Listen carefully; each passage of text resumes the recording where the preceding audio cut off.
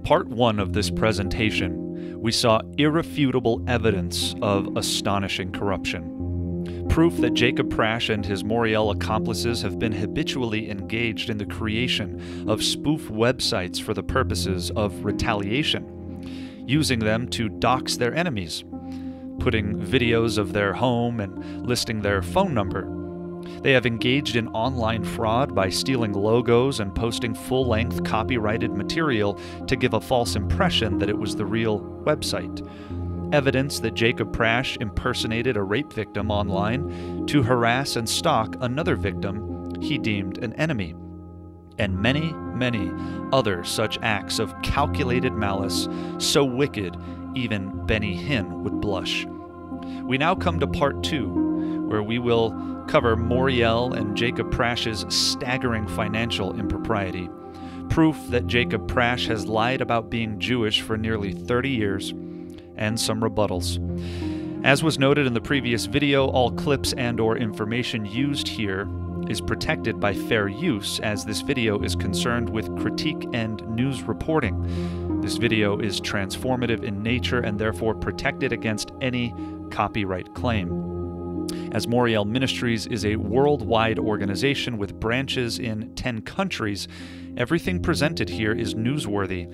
All documents referred to pertain to this worldwide organization and or its president and adjuncts. May the Lord use this to strengthen his body and to spare his children from this soul ensnaring leaven.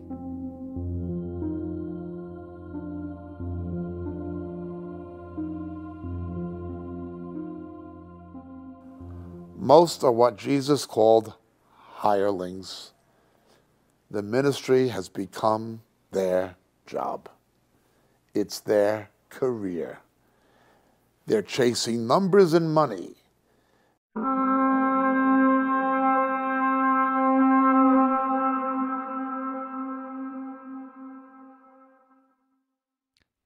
Indeed, is this a ministry or a business?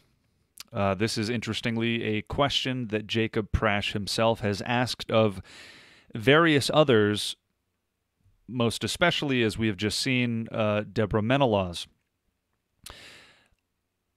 This is not a question that I or perhaps many others would have ever thought necessary to ask had it not been for the revelation of these things that we have already looked into segueing from that, we will begin with Jacob's other website ventures. We've already seen that Jacob Prasch and Moriel have indeed commissioned spoof websites for the express purpose of retaliation and revenge. Websites that included uh, near pornographic material, uh, the doxing of home phone numbers and uh, pictures of people's homes, uh, not to mention a whole host of other things, potentially including cyber fraud. Those are the websites that he's kept hidden. Uh, but as we are dealing with this whole topic of finances now, um, we will begin where I began in my now published uh, letter.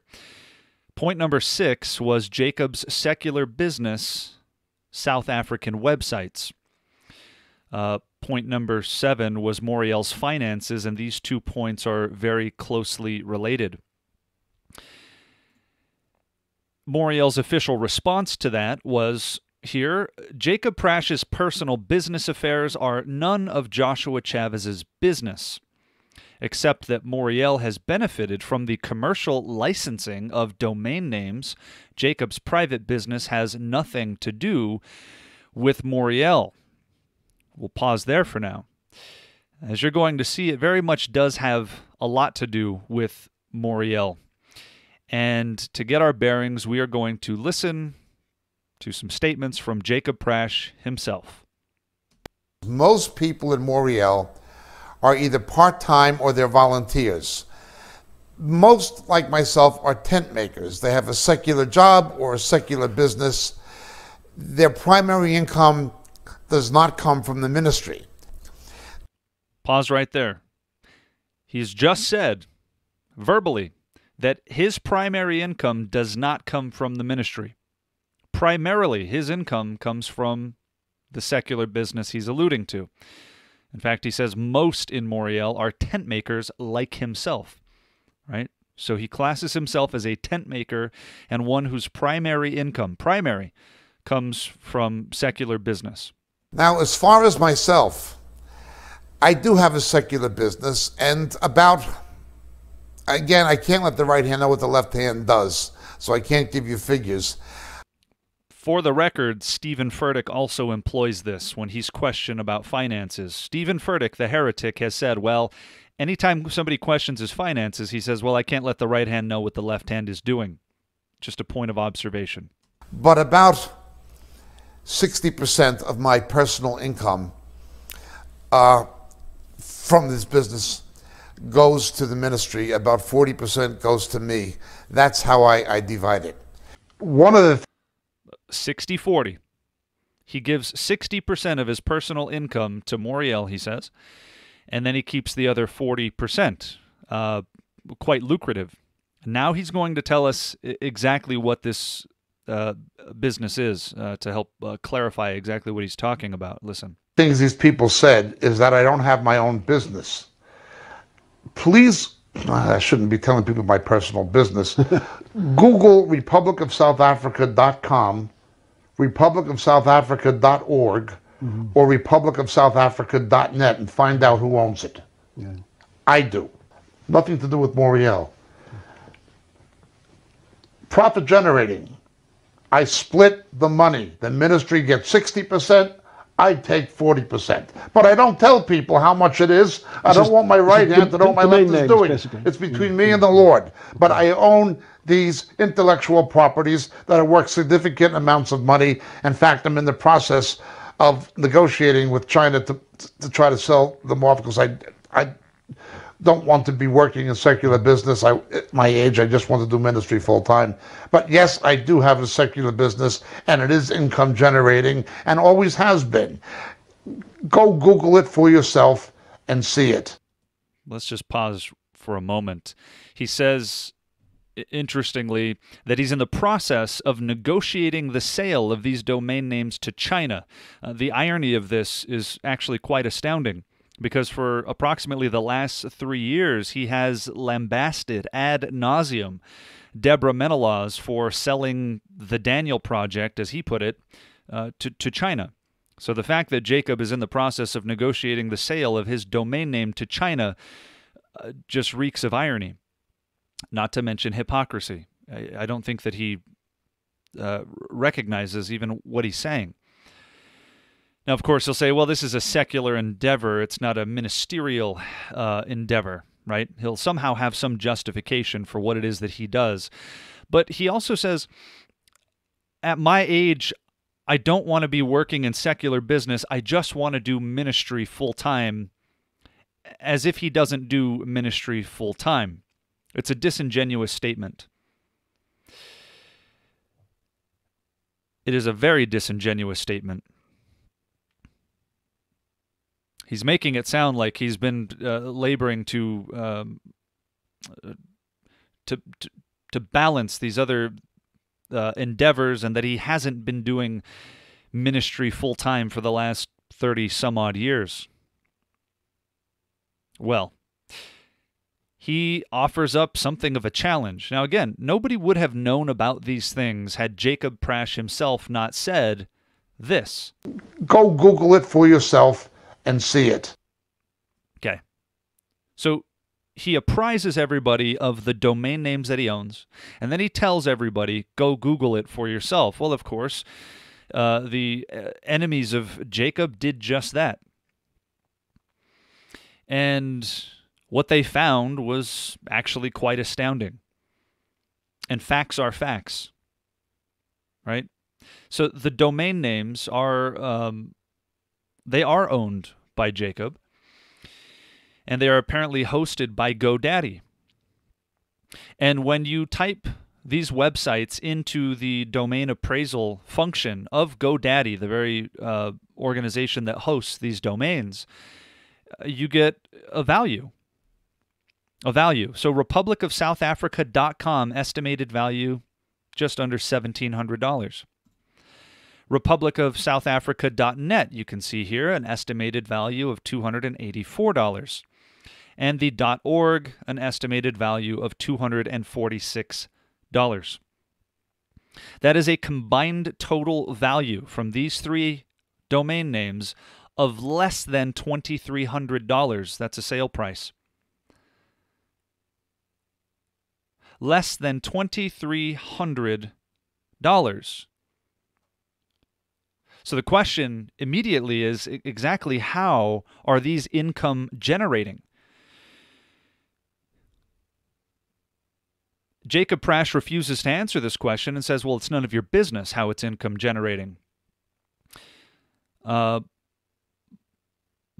but the fact that he put out this challenge and claims that Moriel uh, receives 60% of this uh, uh, income generating business that he has, um, some questions demand answers. Because it doesn't appear that these things even can generate income. They reference in their official comment the um, licensing, commercial licensing of domain names. Well, interestingly enough, I received an email on August 9th from a lovely couple who happens to deal in domain name ownership. Okay, down here you read Domain name ownership is legal by the world standards, but we know the basic workings of this scheme as we deal directly with large corporations. With this in mind, one of our largest customers is presently negotiating for their own name.com. For example, they are uh, .ca, they're from Canada, but want their .com for international status to justify an international draw. Let's just put it this way it is most probably with the company's lawyers and more than likely costly. The big money can only come after the sale of the domain. We assume it is legally plausible that they can sell or trade to the highest bidder and not necessarily to the rightful owner due to proprietor's rights, hence inciting bidding wars. If a person is just leasing the domains, it brings in very little to speak of.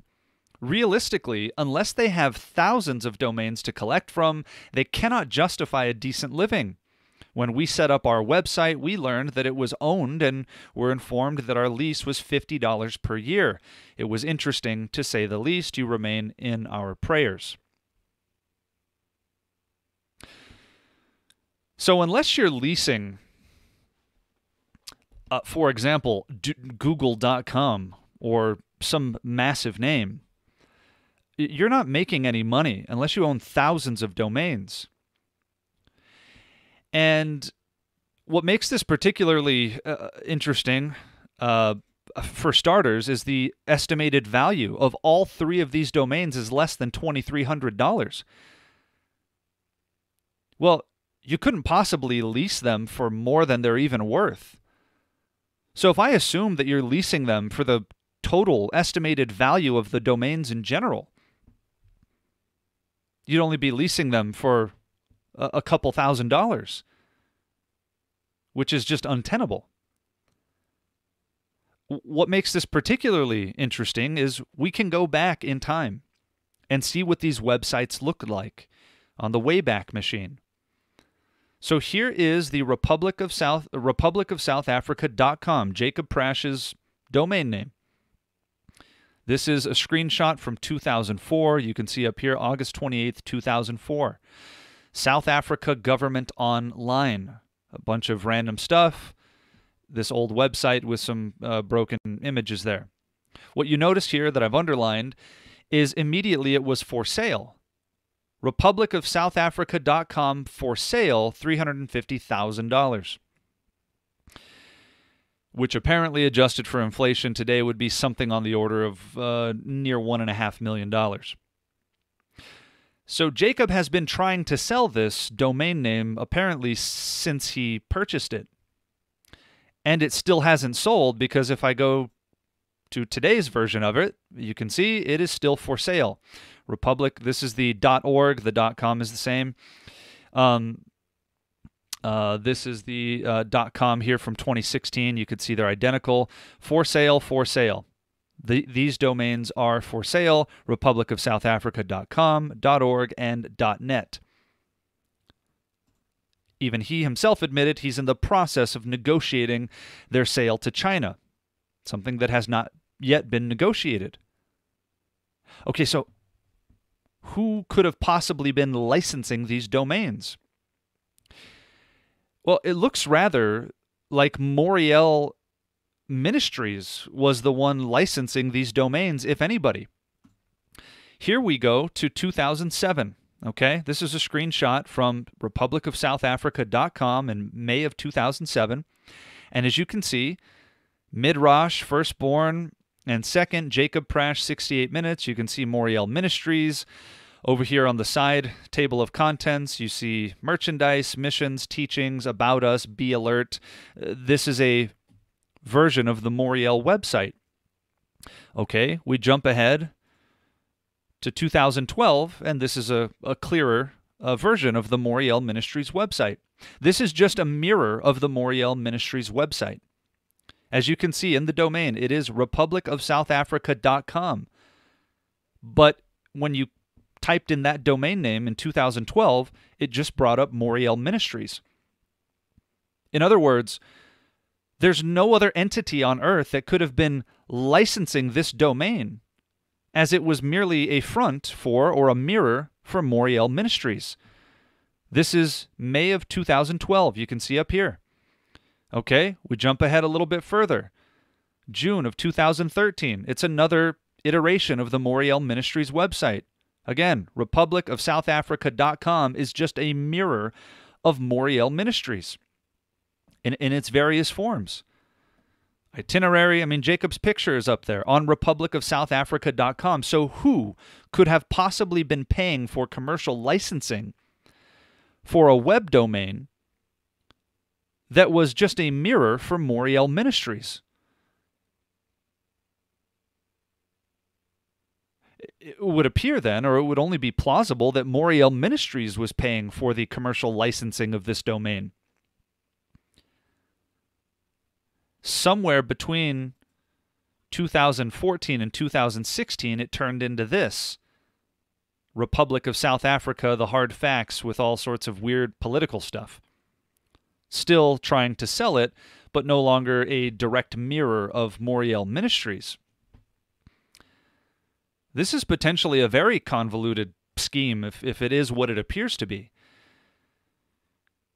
Which is that Moriel Ministries itself was licensing these domains to, to, to somehow uh, was the, the question should be asked was Moriel the one licensing these domains? Paying for commercial licensing? Did Moriel Ministries pay Jacob Prasch to license his domains? And that's the secular business that he talks about because according to people who deal with large corporations and domain name ownership, you're not generating any income unless you actually sell the domain. And, and unless you own thousands of these things, how exactly did you generate the income? Well, that was a question from another brother who, in his letter to Moriel, said, Simply state the mechanism by which owning domain names translates to significant personal income for Jacob. This doesn't make sense to a lot of people because it is nonsensical. This could be done in one or two sentences. Again, this individual has supported Moriel longer than I have even been a believer. A personal friend of Dave Lister's. For example, Jacob leases the domain names to such and such a company and receives monthly payments from them for said lease. Or Web traffic is forwarded from Jacob's South Africa domains to Moriel.org, which generates traffic at Moriel.org and indirectly increases donations that come into Moriel from which Jacob takes personal income. Or such and such a company pays Jacob to allow web traffic from his South Africa domain names to be forwarded to such and such a company's website, and they pay Jacob accordingly for the use of his intellectual property. As evidence, a redacted income statement from the income source should be provided. This is a very reasonable suggestion. The point that he mentions here in the middle is a, is an interesting one. It's, it's one that I myself have floated. Is it possible that Jacob, in his mind, has justified that web traffic is forwarded from Jacob's South Africa domains to Moriel.org, which generates traffic at Moriel.org, at least in theory, and indirectly increases the donations that come into Moriel from which Jacob takes personal income. In other words, has Jacob found a way to pay himself by using these domain names to forward traffic, at least in his mind, to Moriel.org to then justify getting paid? Is Moriel paying Jacob to for the commercial licensing of these domains? It's a good question. It's a valid question, especially in light of all of the I have a sec. um, illicit activity we've already seen. But but here's where it gets particularly interesting. I have a secular business. Okay. I work as I always have. Just because I don't talk about my secular, I, I'm not in the ministry to promote my secular business. This is the first time I've ever even addressed it publicly. Hmm. But yes, those the, the, I have domain names that are worth formidable amounts of money. Pause. They are not worth formidable amounts of money. All three of them combined are worth less than $2,300. The fact that he's trying to sell them for between 350,000 and, you know, one and a half million or whatever the deal is doesn't make them worth that much. Their estimated value is not worth much at all. So, how are they income generating? Especially since we have undeniable evidence that they have just been mirror sites for Moriel.org for the better part of a near two decades.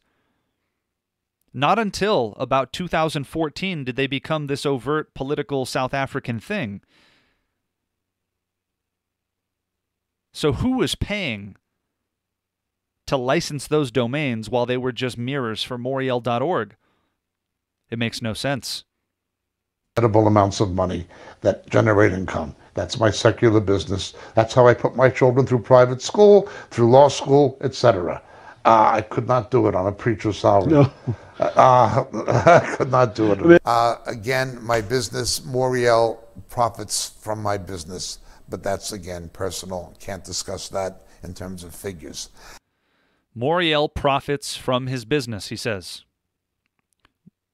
And that's the way he was able to put his children through private school and law school. Okay? Again, these individuals who deal directly with large corporations say the big money can only come after the sale of a domain. And if a person is just leasing domains, it brings in very little to speak of. But if you want clarification on this, Jacob will just simply tell you it's none of your business. But remember what he said. Go Google it for yourself and see it. But when you Google it for yourself, Jacob says, My personal business is none of yours.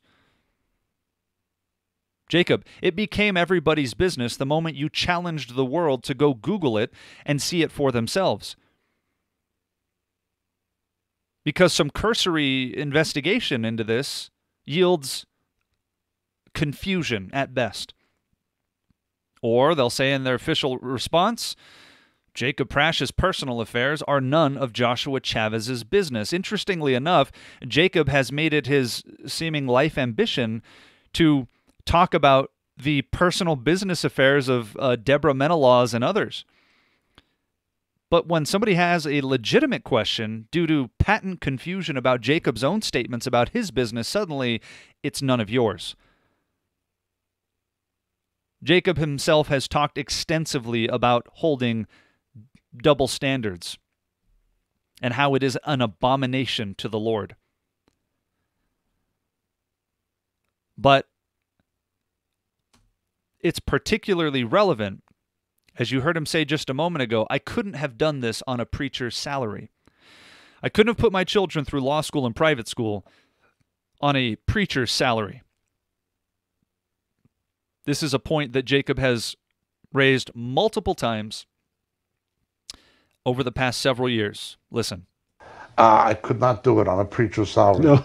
Uh, I could not do it.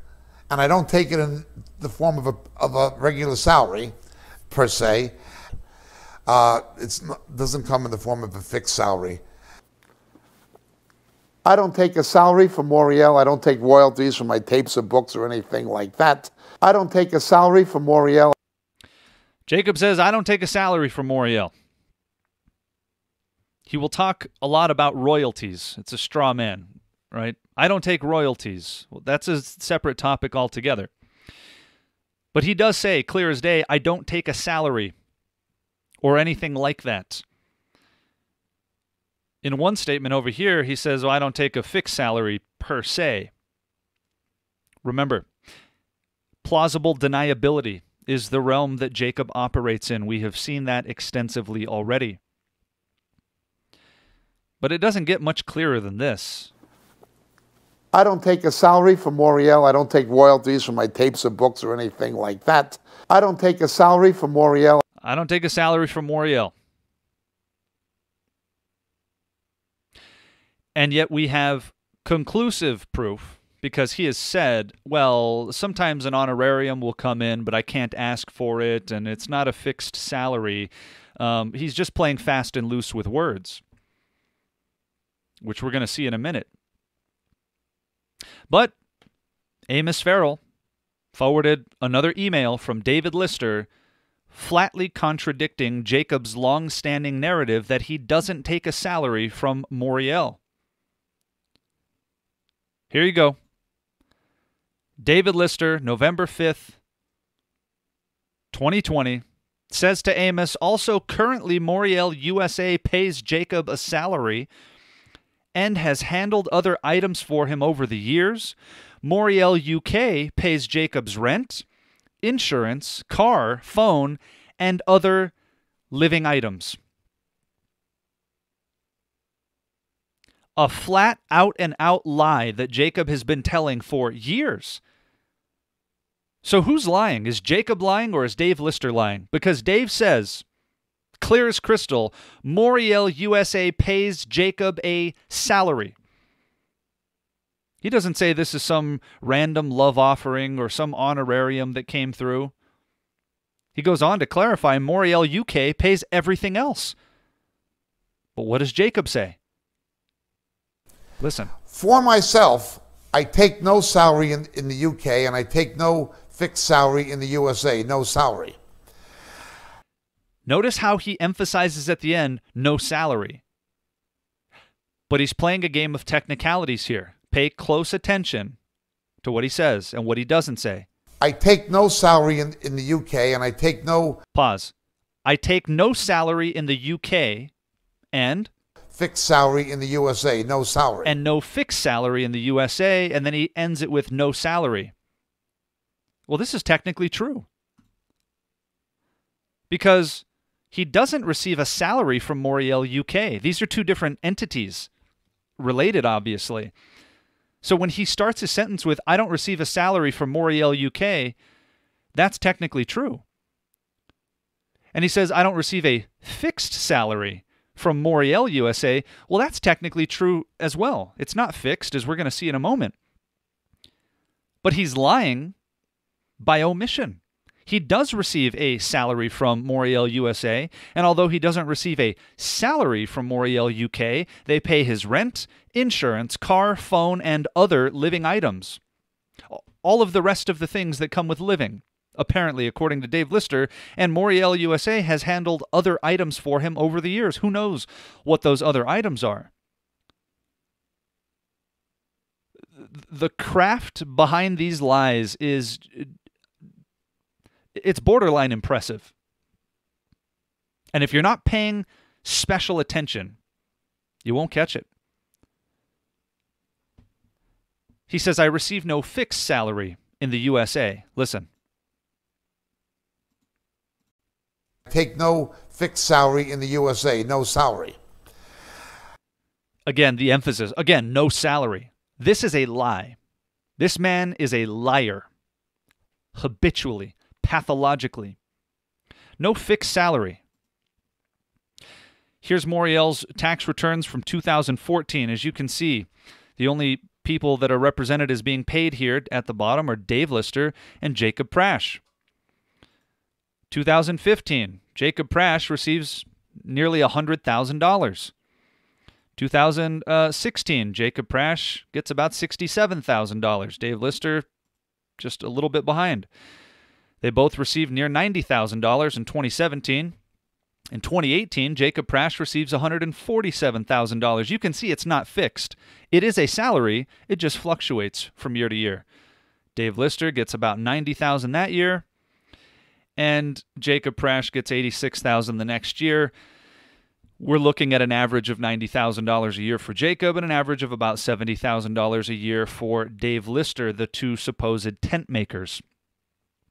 Now, Jacob says, no, these are designated funds. Uh, this is just an honorarium. I can't ask for it. If they come in, you know, nobody says I can't give it back. There are so many woven lies into this scheme, it's very difficult to untie it. But he has said, clear as day, I don't receive a salary. I don't take a salary from Moriel. Then he says, well, I don't receive a, a salary from Moriel UK and I don't take a fixed salary from Moriel USA, no salary. Again, Dave Lister says Jacob is paid a salary from Moriel USA. And Moriel UK pays for everything else. Jacob says, That's my secular business. That's how I put my children through private school, through law school, etc. That's how he put his children through private school and through law school was his secular business. Remember, they say in their official statement the insinuation, however, that Jacob Prasch financed the private education of his children with funds taken from Moriel is as ridiculous as it is defamatory. Then the question must be asked so why does Moriel pay Jacob a salary and all of his living expenses? If his secular business is so profitable. Pay attention here.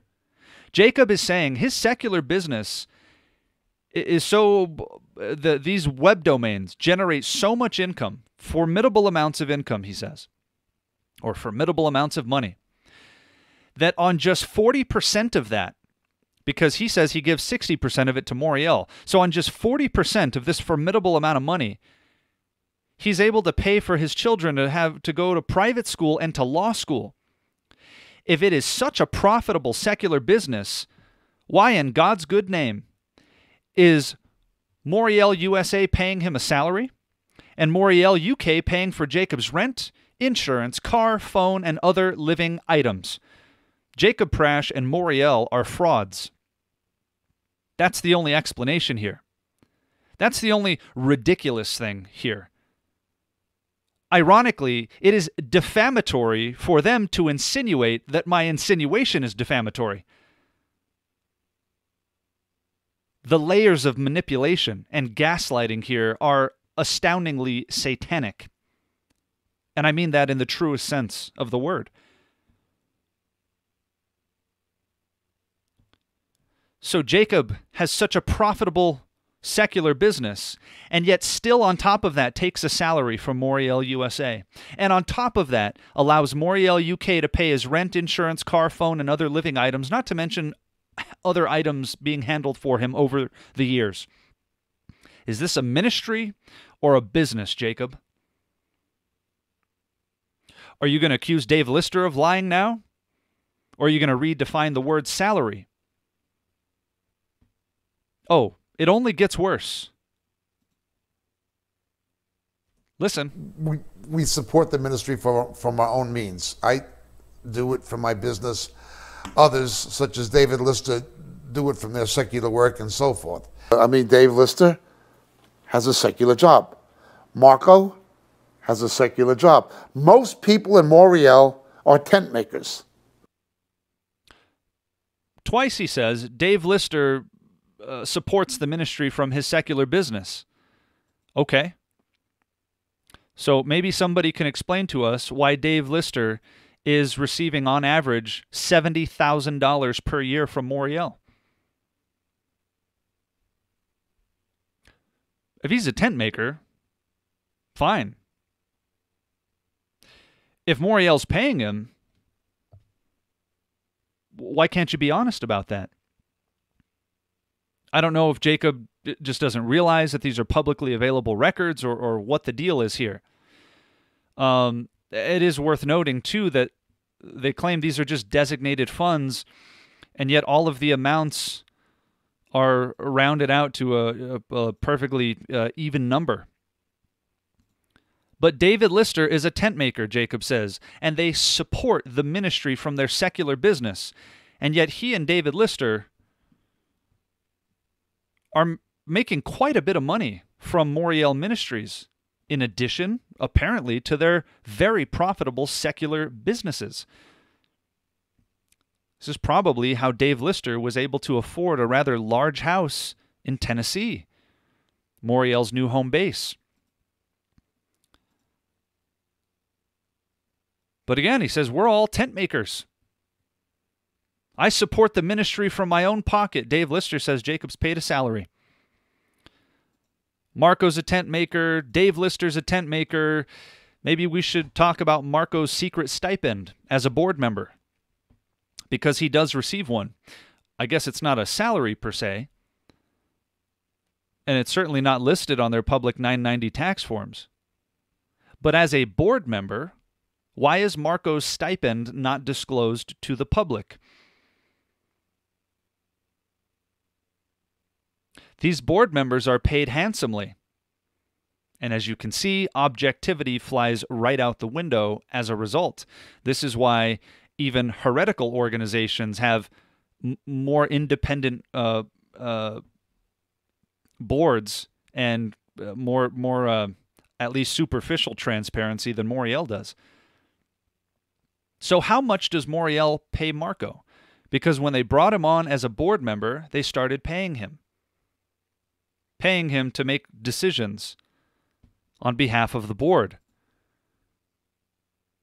This section, there's some legitimate questions. Pay to play? That's what it sounds like. We're going to talk about some actual embezzlement and what appears to be hush money. That's what it looks like. So perhaps Moriel would like to discuss the secret stipend that they pay to one of their key board members another big question in my article was who exactly is the board? That's not clear either. Right? They don't publicize that John Haller is Moriel's legal advisor, but Jacob refers to him as such in private emails. John Haller is very much invested in the whole Moriel scheme and uh, is present at most, if not all, of their board meetings. So maybe he's not an official board member, or is he? We really don't know. We know that Marco is, Dave Lister at least was, and he has the power of a board member, and Jacob is. And now we got people like Blair, and we know Amos was. And there's different tiers of the board. There's the international board, and then there are pockets of the Australian board members and the Canadian board members, but they all have varying levels of authority. All things that are presumably none of your business pay to play, embezzlement, hush money. One of the things I added in my article was this edit. I said, It has since been discovered that certain Moriel board members, including Dave and Marco, receive a Christmas bonus of 10,000 US dollars, which may account for their silence. Also, board member Marco Quintana has purchased a 36 acre parcel of land in Tennessee near David Lister and the new home base of Moriel. The purchase price was $100,000. Did Moriel help pay for this? Did he tell his church he is apparently planning to leave? Here's the link to the publicly available information. Let's get a statement from Jacob. We have stood vociferously against money preachers and word faith preaching, financial con artistry, people prostituting the word of God for their own aggrandizement. We've always opposed it and therefore, we believe financial transparency is important, important for ourselves, that we're quite open about it. Financial transparency is important until it's incriminating. And then Jacob will say things like this Whether or not I donate the Christmas bonus for a U.S. tax deduction, a gift not coming from Moriel but from a supporter with the gift included in the Moriel annual audit, uh, good luck unraveling that statement, is again none of your business. So much for financial transparency. Anytime you ask for some clarification, even as a supporter, even as a donor, it's suddenly none of your business. This is the type of transparency I would expect from Benny Hinn, and about the type of transparency you get from Steven Furtick. This is not a joke. This is incredibly bad. But he mentions this Christmas bonus. A gift not coming from Moriel, but from a supporter with the gift included in the Moriel annual audit. I don't know what that's supposed to mean. A supporter sends a bonus gift, but it's not from Moriel. It's a Moriel supporter, but it's not a Moriel gift. It's just a bonus for the board members. That sounds an awful lot like hush money. But you want proof of this bonus? It was apparently more than I originally thought. Amos forwarded me the email. Again, from Dave Lister, the Secretary of Moriel, on November 30th, 2020. Dave Lister says To Amos, I'm in the last day of packing. He was moving to Tennessee at the time, Moriel's new home base. As I have uh, two ladies coming in to hyperclean this place this morning, as well as two guys installing a radon fan. We'll transfer 15 G's US, about 11,300 Great British pounds on Tuesday. David. That's right, folks. A $15,000 US Christmas bonus, which, again, Amos was honest and forthright about disclosing, which Jacob uh, admits to while saying it's none of anybody's business. So maybe this is why the board of Moriel is so silent. I guess when you're receiving uh, healthy Christmas bonuses, quote unquote, uh, like this, th- this is typically what the world calls hush money. Look the other way. You're getting paid handsomely to stay silent. That's typically that's what this looks like. But if you ask any questions, Jacob will say, It's none of your business. Oh no, Jacob, financial transparency is not only important to you, stated, but it is important to other people. It is our business. $15,000 Christmas bonus? This is staggering. I don't even know if it's legal. That's a good question. But Amos didn't want to take this bonus he had a bit of a problem with it, and he was contacted by this gentleman, Marco Quintana,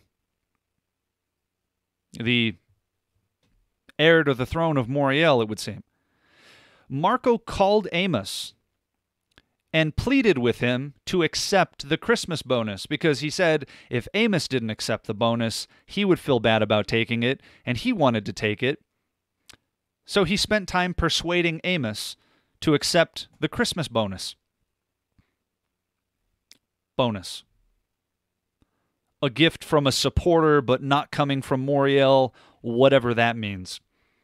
If it's a tax deduction for Moriel, then it's obviously related to Moriel. And if you're paying your board members bonuses like this, uh, hard to say this is just an act of Christian charity. I bet you. Why, why don't you send that bonus to the uh, starving kids in the Philippines? Jacob likes to talk about this orphanage in the Philippines so much, or, or various missionaries. I, I wonder how much of how much bonus money those people see. But if you're one of the people that has to make objective decisions on behalf of Moriel, that's the type of money being dished out. And apparently, the other board members in the various locations also receive some type of bonus. It may not be as much as this, it's hard to know. Of course, Jacob and Moriel will say it's none of your business. This will eventually come out. But apparently, all of the board members receive some type of bonus. So Marco convinced Amos to accept this $15,000 Christmas bonus because well, he wanted one too. It's all starting to make a little more sense, right? Well, the plot just continues to thicken like molasses. This is a sheet from um, real estate assessment data in Tennessee. I have blurred out all the personal details. Uh, addresses are blurred out. You can't see them, even though it is publicly available. Um, I've, I've blurred those out. This is uh, Marco Quintana and his wife purchased a plot of land in November of last year. We'll zoom in here. As you can see, November 12th, 2020, $100,000. This is $100,000 worth of land in Tennessee, purchased by Marco Quintana, the pastor of a small church in California. Now, if we go to Moriel's website, we can see that they have a new office in Dover, Tennessee. It was formerly in Pittsburgh. Dave Lister moved out to Tennessee and established the Moriel home base in Dover, Tennessee. Well, if we compare Marco's uh, newly acquired parcel of land to Dover, Tennessee, it's just a hop, skip, and a jump away. It's not a coincidence. So Marco Quintana purchased $100,000 worth of land right down the street from Moriel's new home base. Now, one needs to rightly ask the question how does a pastor of a small local church afford $100,000 worth of land conveniently nestled next to the uh, new Moriel base, especially in light of the fact that just a few years ago, Marco Quintana filed for Chapter 7 bankruptcy? Yeah, this is a very valid question, and this is all publicly available information. Marco files for Chapter 7 bankruptcy, and a few years later is able to afford $100,000 worth of land near Dave Lister. Something doesn't seem to make sense. Uh, in passing, I will note that on page 15 of this Chapter 7 filing, Marco had to disclose former spouses. There's his wife, Gina, whose last name I've uh, blurred out for her privacy. Uh, but Marco has been married twice. While Jacob is busy talking about the marriages and or not marriages of various other people from Tim Worth to Jan Markell to pick a person, Jacob's own son, Eli Prasch, has been married twice, and his spiritual son, Marco Quintana, has been married twice, and he was divorced after he became a Christian. These are the former spouses that have to be listed in a bankruptcy filing. But Marco says uh, in the pastors and elders section on the Community Church of Devore that he and his wife Rebecca are married uh, in 2004. They have five children. That's an almost true statement. Marco's first child was with his first wife.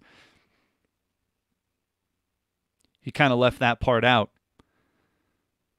He said he was saved in 1995 and he divorced his first wife five years later after he became a Christian. Would it be fair for everybody to conclude and assert categorically that Marco Quintana is now utterly disqualified from ministry on the basis of this uh, newly discovered second marriage? I'll let the masterminds at Moriel decide uh, how they'd like to address that. Perhaps we'll talk about that more later. But the question, that's just in passing. The question we need to ask ourselves is Did Moriel buy Marco's land?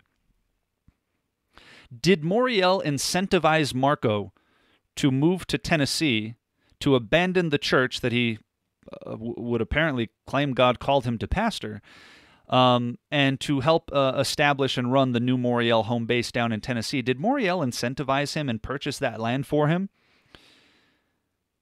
Or is Marco's tent making really profitable these days? Does he receive a salary from his church as well as a stipend from Moriel? Maybe he's been getting more Christmas bonuses. Maybe he's been saving up all those Christmas bonuses. But when Moriel is giving out money like this to their board members, the question merits asking Did Moriel purchase this parcel of land for Marco, or did a man who filed for Chapter 7 bankruptcy not too long ago somehow manage to bounce back and buy $100,000 worth of land? That's a lot of money. I don't care who you are. Or is this none of anybody's business either? Jacob created an entire website with the premise and, and, thesis question is this a ministry or a business? Talking about Deborah Menelaws and a cleaning business. And we're looking at some legitimately disturbing, uh, confoundingly incoherent financial discrepancies. And Jacob says, that's none of your business.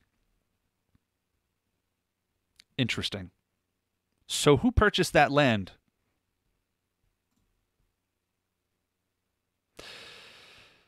One of the things I mentioned in uh, part seven, the Moriel finances, I set up here. I would have never questioned Moriel's finances had these other elements not presented themselves, right? It was only after seeing other things that I realized I, I now have to question everything. Things that I just assumed were okay, other things that I had heard but ignored. I was also apprised of Jake by Jacob of a situation in Australia that merits mentioning, as it is at best a case in abysmal stewardship, and anyone on this list who may donate to Moriel deserves to know how funds may be being managed or not. Sometime after the Moriel Australia administrator passed away and Moriel was in the process of replacing her, Jacob said they were convening an emergency meeting to discuss some issue with missing funds.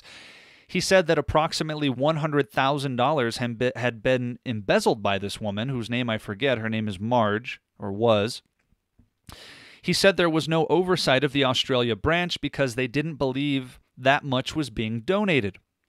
It turns out the woman was apparently living handsomely due to Moriel's neglect of stewardship. I don't know much beyond this, but it further establishes a general pattern of negligence. I think the people who donated all that money deserve to know exactly what happened and how the entire Moriel board should address this. Yet this is a case of confirmed, uh, admitted embezzlement. And I have found out much more since. But Jacob and the entire Moriel board have known about this for over a year. Moriel's uh, response, one of their this is one of Jacob's responses to a gentleman in the email thread. He says Moriel's financial records are duly audited and placed in the public domain. Not all of them, folks. Not when it comes to the embezzlement of perhaps in the in the neighborhood of $200,000. It was not audited at all because there was no oversight. But I published this statement again on August 5th. I asked the question August 3rd in the private email. August 8th, just a few short days after I made my letter public, what do you know? The Moriel Australia Board has an official statement. This is called damage control. They were trying to cover up this embezzlement, and because I made it public, they, they had to say something about it. So here's what they said, among other things. They described this as significant financial mismanagement, misappropriation, and impropriety.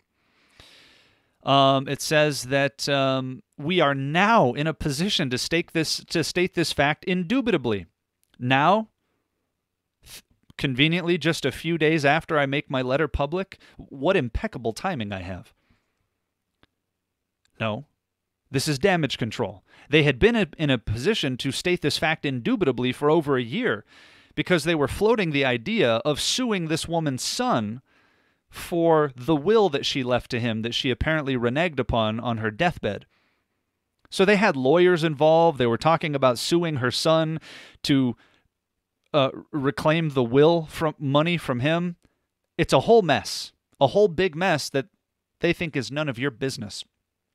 But now, just a few short days after my letter, now they were in a position to indubitably state this. This is a lie. They're all liars. They said, they, they admit their motive in, in publishing this.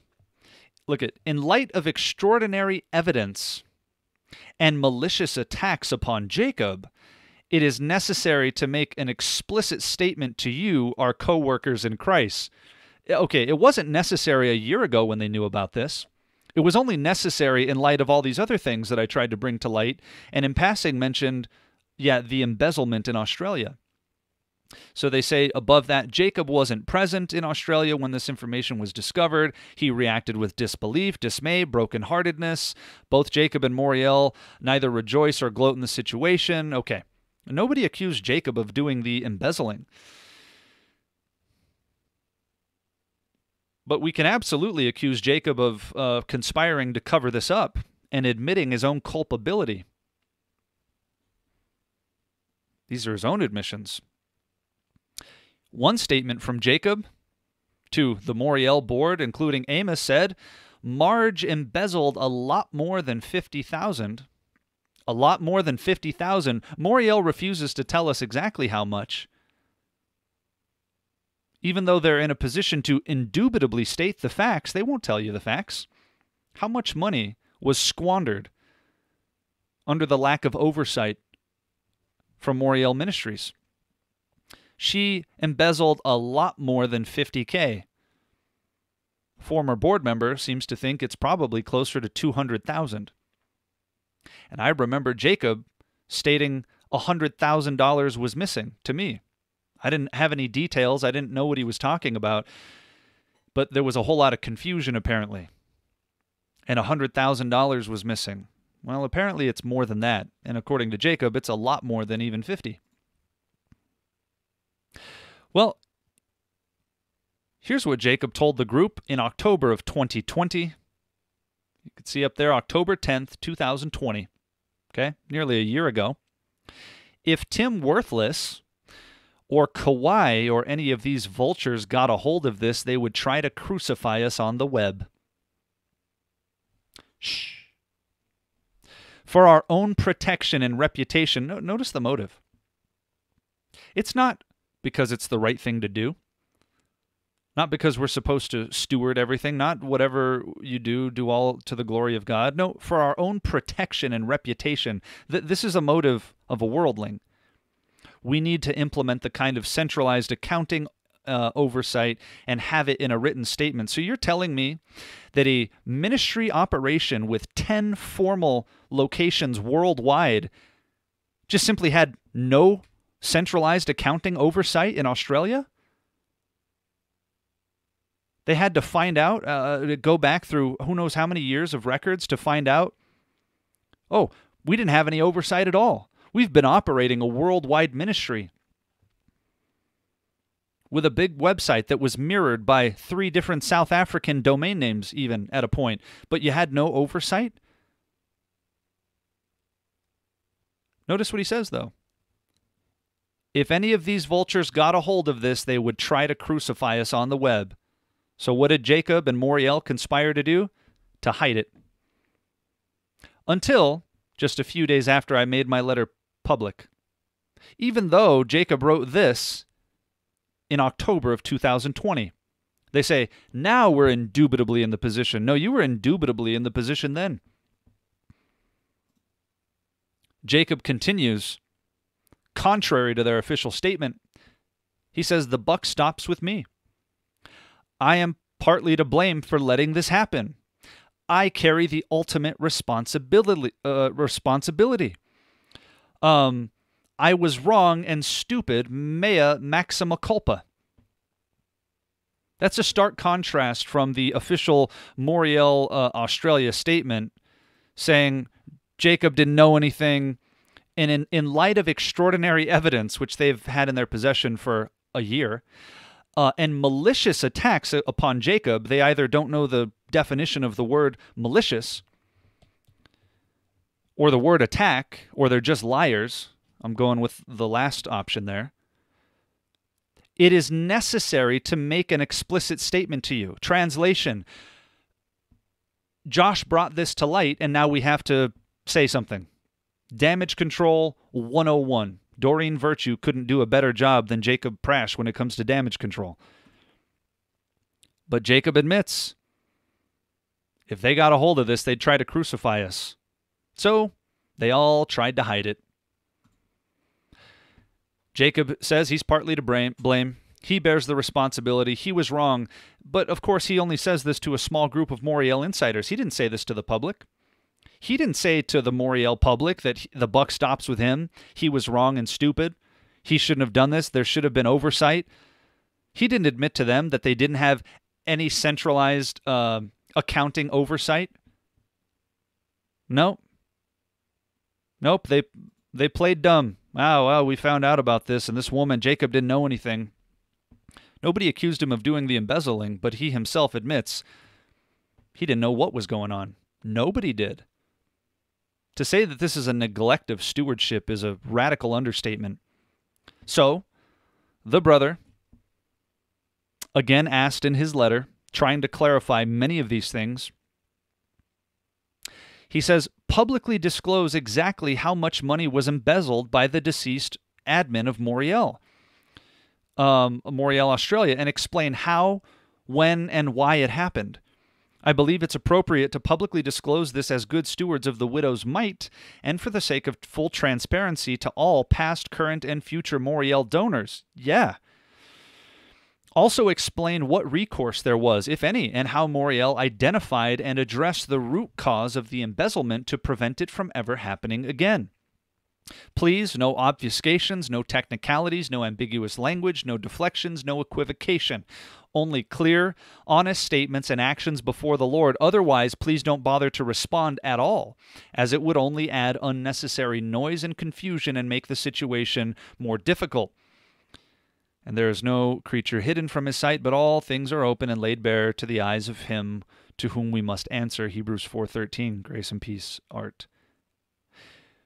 This brother who has supported Moriel for, I think, at least 15 years, didn't even receive so much as a reply. Moriel, nobody. Not Dave Lister, not Marco Quintana, not Jacob Prasch, none of them even humored his legitimate request to clarify these things. Why? Because they couldn't. Perhaps they took his last point. They knew they were going to have to resort to obfuscation, technicality, ambiguous language, deflection, or equivocation, and they couldn't respond without those elements. So they just chose not to respond at all. Oh, but they'll call this a malicious attack. Josh is a bitter backstabber. This isn't about Josh. This is about reality. A reality that is caught up to Moriel in full force. I'm just a messenger. This brings us to Moriel, New Zealand, which, according to the Moriel website, is one of their 10 formal branches worldwide. Yet, according to the New Zealand Charity Services website, an official government website, Moriel Ministries was deregistered in November of 2017 and has not been re registered since. But what led to this? According to the Commission, quote, this entity was removed from the Charities Register under Section 32 1B of the Charities Act because it failed to file annual returns as required by Section 41 of the Charities Act. End quote. Another financial fiasco emerges. Moriel once again squandered its stewardship and were deregistered by the New Zealand government for failing to obey the laws. But the plot thickens. In this 2016 Moriel Quarterly article, Jacob Prasch offers this peculiar statement, quote, at long last, Marge and Raywin will no longer need to fly Moriel, New Zealand by remote control from Australia as they've done since Nigel went home to be with the Lord. But Pierre and Margaret Mosley are getting ready to assume the administration of the New Zealand branch. End quote. So, Marge, the woman who embezzled at least $100,000 from Moriel, Australia, without anyone in Moriel having a clue about this due to absolutely no oversight, was running the New Zealand branch remotely. One year later, after a new couple took over, they failed to file annual reports and were deregistered. Were they embezzling money from Moriel, New Zealand as well? It sure sounds like it. And yet Jacob and Moriel claim all their branches are registered charities and report all finances according to the laws. They've lied again.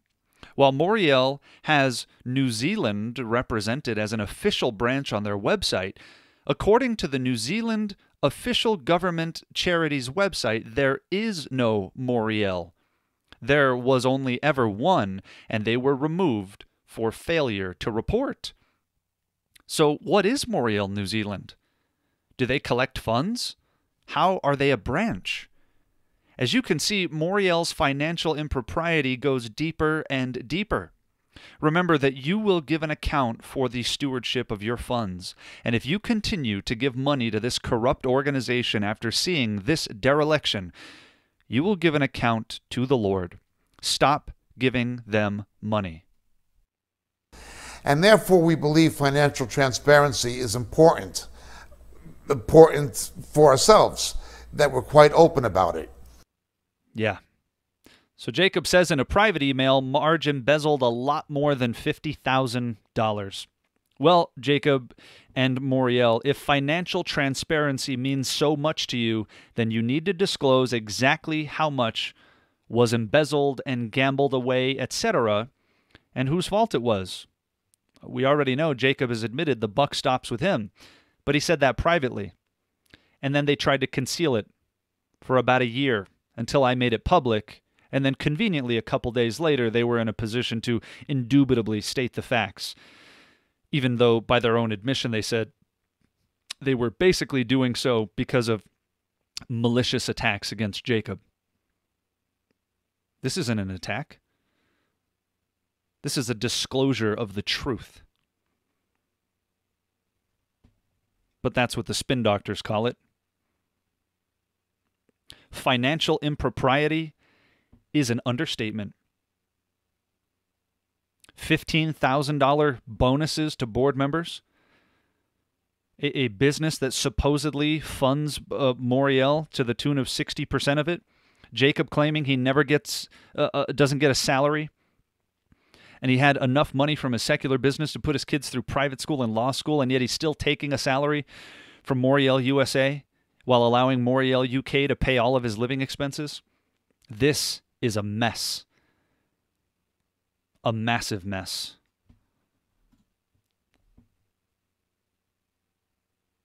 But how deep does the business go? Jacob says on multiple occasions, we don't sell. We made a big decision not to sell recorded materials. We just put everything for free online. If they got this much money leaking out here, uh, how do they fund these things? Well, let's get some statements from Jacob. Something I just have to mention very briefly. Um, Moriel.org is our website. And if you visit our website, Moriel.org, you can download any of our recorded material absolutely free of charge. He says that's on Moriel.org. You can download anything for free on Moriel.org, their website. There's no charge, it's free. At one time, we had to charge people copying, postage, shipping, things like that. We don't have to anymore because of the internet. We can just give it away for free, at least for the time being. All that for free download. We just took everything and we put it online and we stopped pretty much selling it unless people order it. But we're not trying to finance the ministry by the sale of recorded materials anymore or anything of that nature. It's just out there. But the best, of course, is just to go online and download it for free. It's there for free. It's there for free. Well, here's Moriel.org, online store, Moriel.org. These are their MP3 downloads. And as you can see, they're all $4 a piece. That is the exact opposite of free. $4 a piece. This is exorbitant. It would be a lie if it was $1, but $4 for a message to download the MP3? Jacob's a liar. When Jacob belabors a point and says, We don't do this, it means the opposite. When Jacob says he doesn't make spoof websites to attack people, that's exactly what he's doing. When he says we don't sell recorded materials, that's exactly what they're doing. When he says everything's free on our website, That's exactly false. And he's doing this in response to people calling him out. So when he gets in this mode of defending himself, uh, not only does he re- resort to lying, but he's a projection artist. And he will speak the most loudly about the things that he himself is guilty of. Is this a ministry or a business? $4 for a download? You've got to be kidding me. But it's all there and it's all for free. It's all there and it's all for free, except that it's not. There is not a single free message on Moriel.org. Every one of them is $4 a piece. The very opposite of free. But you know, if you go to MLJ Trust, the website, Martyn Lloyd-Jones' uh, website, the, the website that manages all of his old messages, there's a download button under every one of these probably thousands of messages. And uh, there's an add to download cart even there, and you can put a bunch of messages in there. And what do you know? It's actually free. Your free download card. I can actually download free messages from Martyn Lloyd-Jones' website, thousands of them. How about John MacArthur? Well, if you go to the Grace to You website, you can see up here in the corner there's an MP3 high quality download option. If you click on that, takes you to the play. Click on that button, there's a download option for free. John MacArthur's Grace to You website allows for actually free downloads. Martyn Lloyd-Jones' website allows for actually free downloads.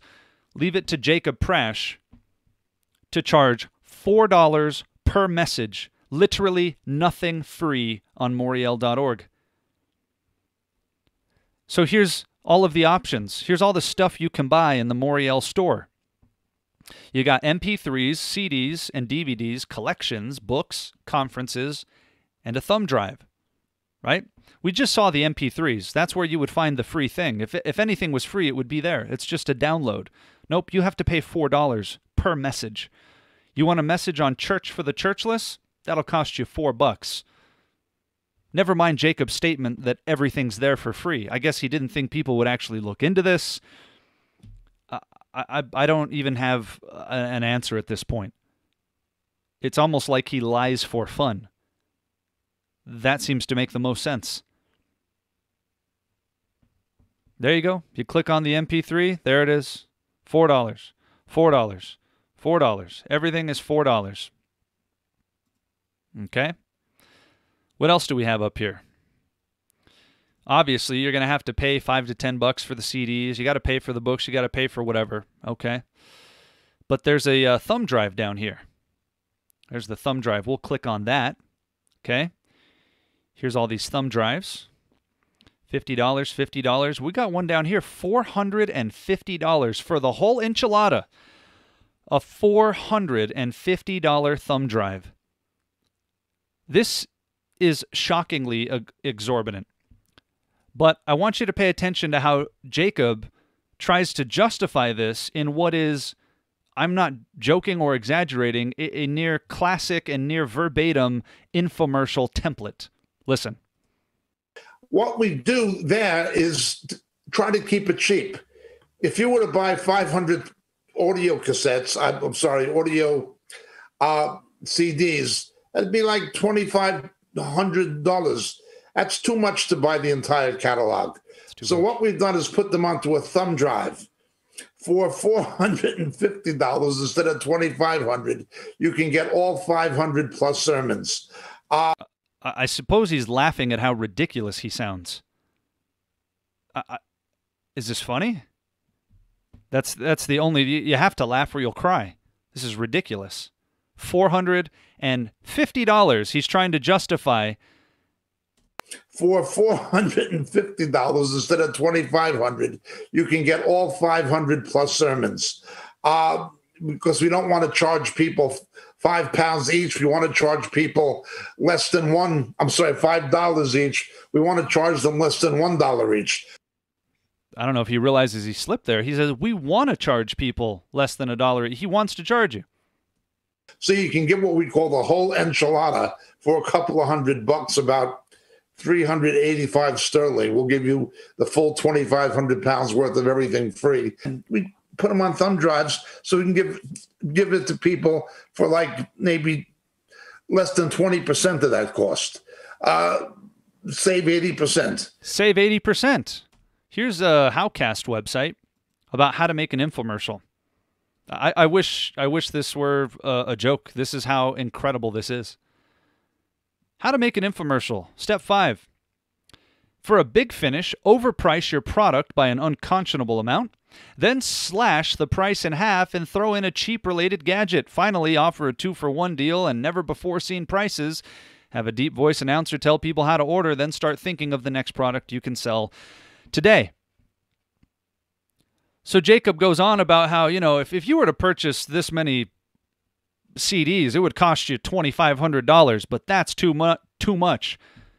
Call today and we'll slash that price by 80%. You'll only pay 20% of that. This is astounding. $450? What are they really charging for? That thumb drive right there that costs $450, the, the actual device itself, the, the, the hardware, is $7 on Amazon for a 32 gig thumb drive, which is more than enough to, to put 500 hours worth of audio if, if it's that much. He said it was over 500 sermons. There's 405.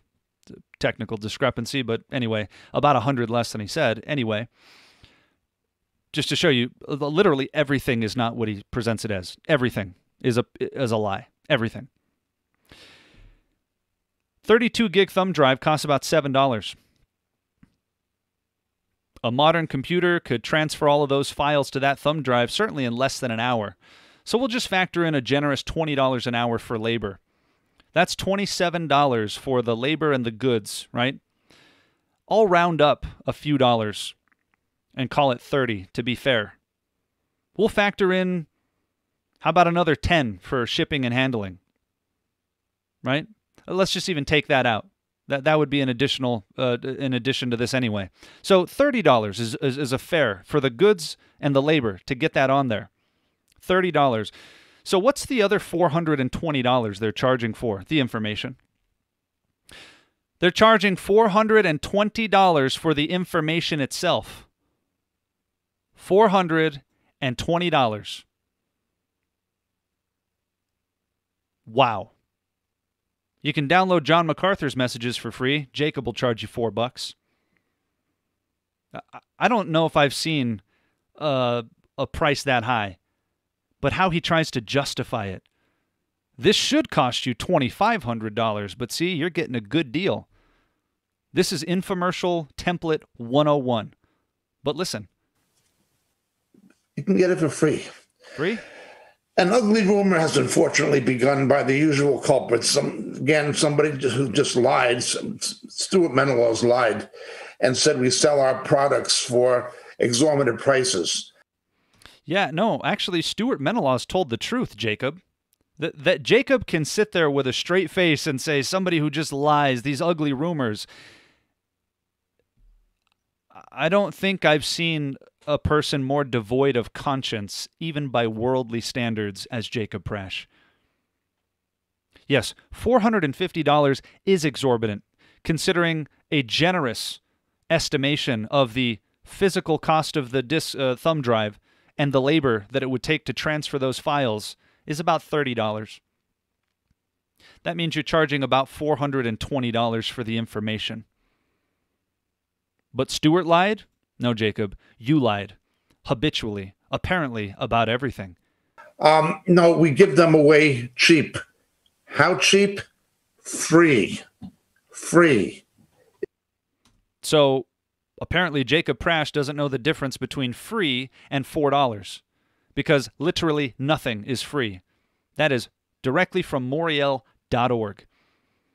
John MacArthur doesn't charge $4, Jacob Prasch does. But he emphatically states it's free, it's free, it's free. No, it's not. To begin with, I've never taken a penny in royalties from the sale of any recorded material. Now, of course, everything is free online. Nope. You can't profit from something you give away for free. Does that include the whole enchilada for $420 worth of inflated price? It's impossible. Or the uh, $4, give it away. $4 per uh, message there? We encourage people to download, copy, and circulate our stuff. Freely you've received, freely give. I can't believe We it. don't have to do that anymore. We used to have to charge people for postage and for copying costs and for CD covers, and we don't. not- We can just give it away now. It's not you, you could give it away, but you don't. And that's what makes you a deceptive liar. You could give it away, but you don't. You could sell the whole enchilada for $420 generously, for $430. Sorry, you could sell it for $30, but instead you've jacked the price up by a, a, an additional $420 for the cheap price of $450? So much for freely you have received, freely give. That's all they're charging for. Is the information. But he'll talk about how he doesn't take royalties from his books. It's a big straw man. That has nothing to do with the rest of this. It's like somebody being on trial for you know, a homicide. And I said, "Yeah, but I wasn't jaywalking." Okay. We're not talking about jaywalking. That's a, that's a different thing. And even if you're not guilty of that, this other thing is still a pretty big deal. But nice try deflecting with this red herring. I don't take royalties from my books. Okay.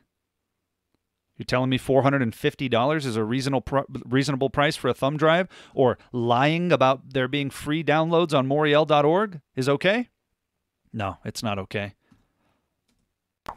it's not a business, but if you want to order it, we'll make you the CD uh, or the DVD. But otherwise, just take it free, as most people do. Take it free. If you want to buy the whole thing, instead of paying twenty five hundred dollars for five hundred titles, we'll give it to you for less than twenty percent of that cost, uh, less than a dollar a sermon or a dollar or whatever. Just we're not in business; we're in ministry, and we want to keep it that way. Again, when Jacob Prasch emphatically states something like this, it's exactly the opposite, as we've seen. When he says, I've never created a spoof website to attack anyone, we know that he's lying.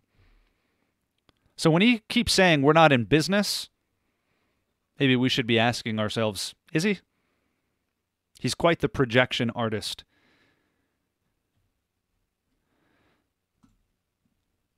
Here's what he said about me. What triggered Joshua Chavez to get the dagger? He was uh, trying, the spin doctor, hard at work.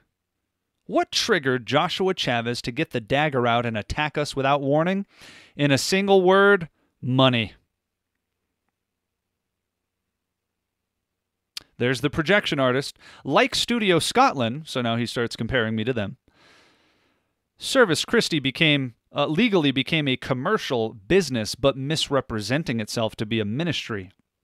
Joshua Chavez registered Servus Christie as a commercial LLC, limited liability company, in New Mexico, USA.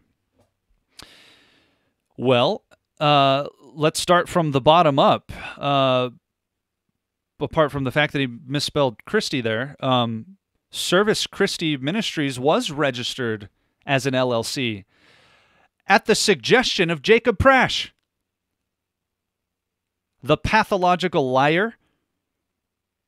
When I was threatened with a frivolous lawsuit, I was looking into different types of insurance and had no uh, ban- there was there was nothing to tie the insurance to.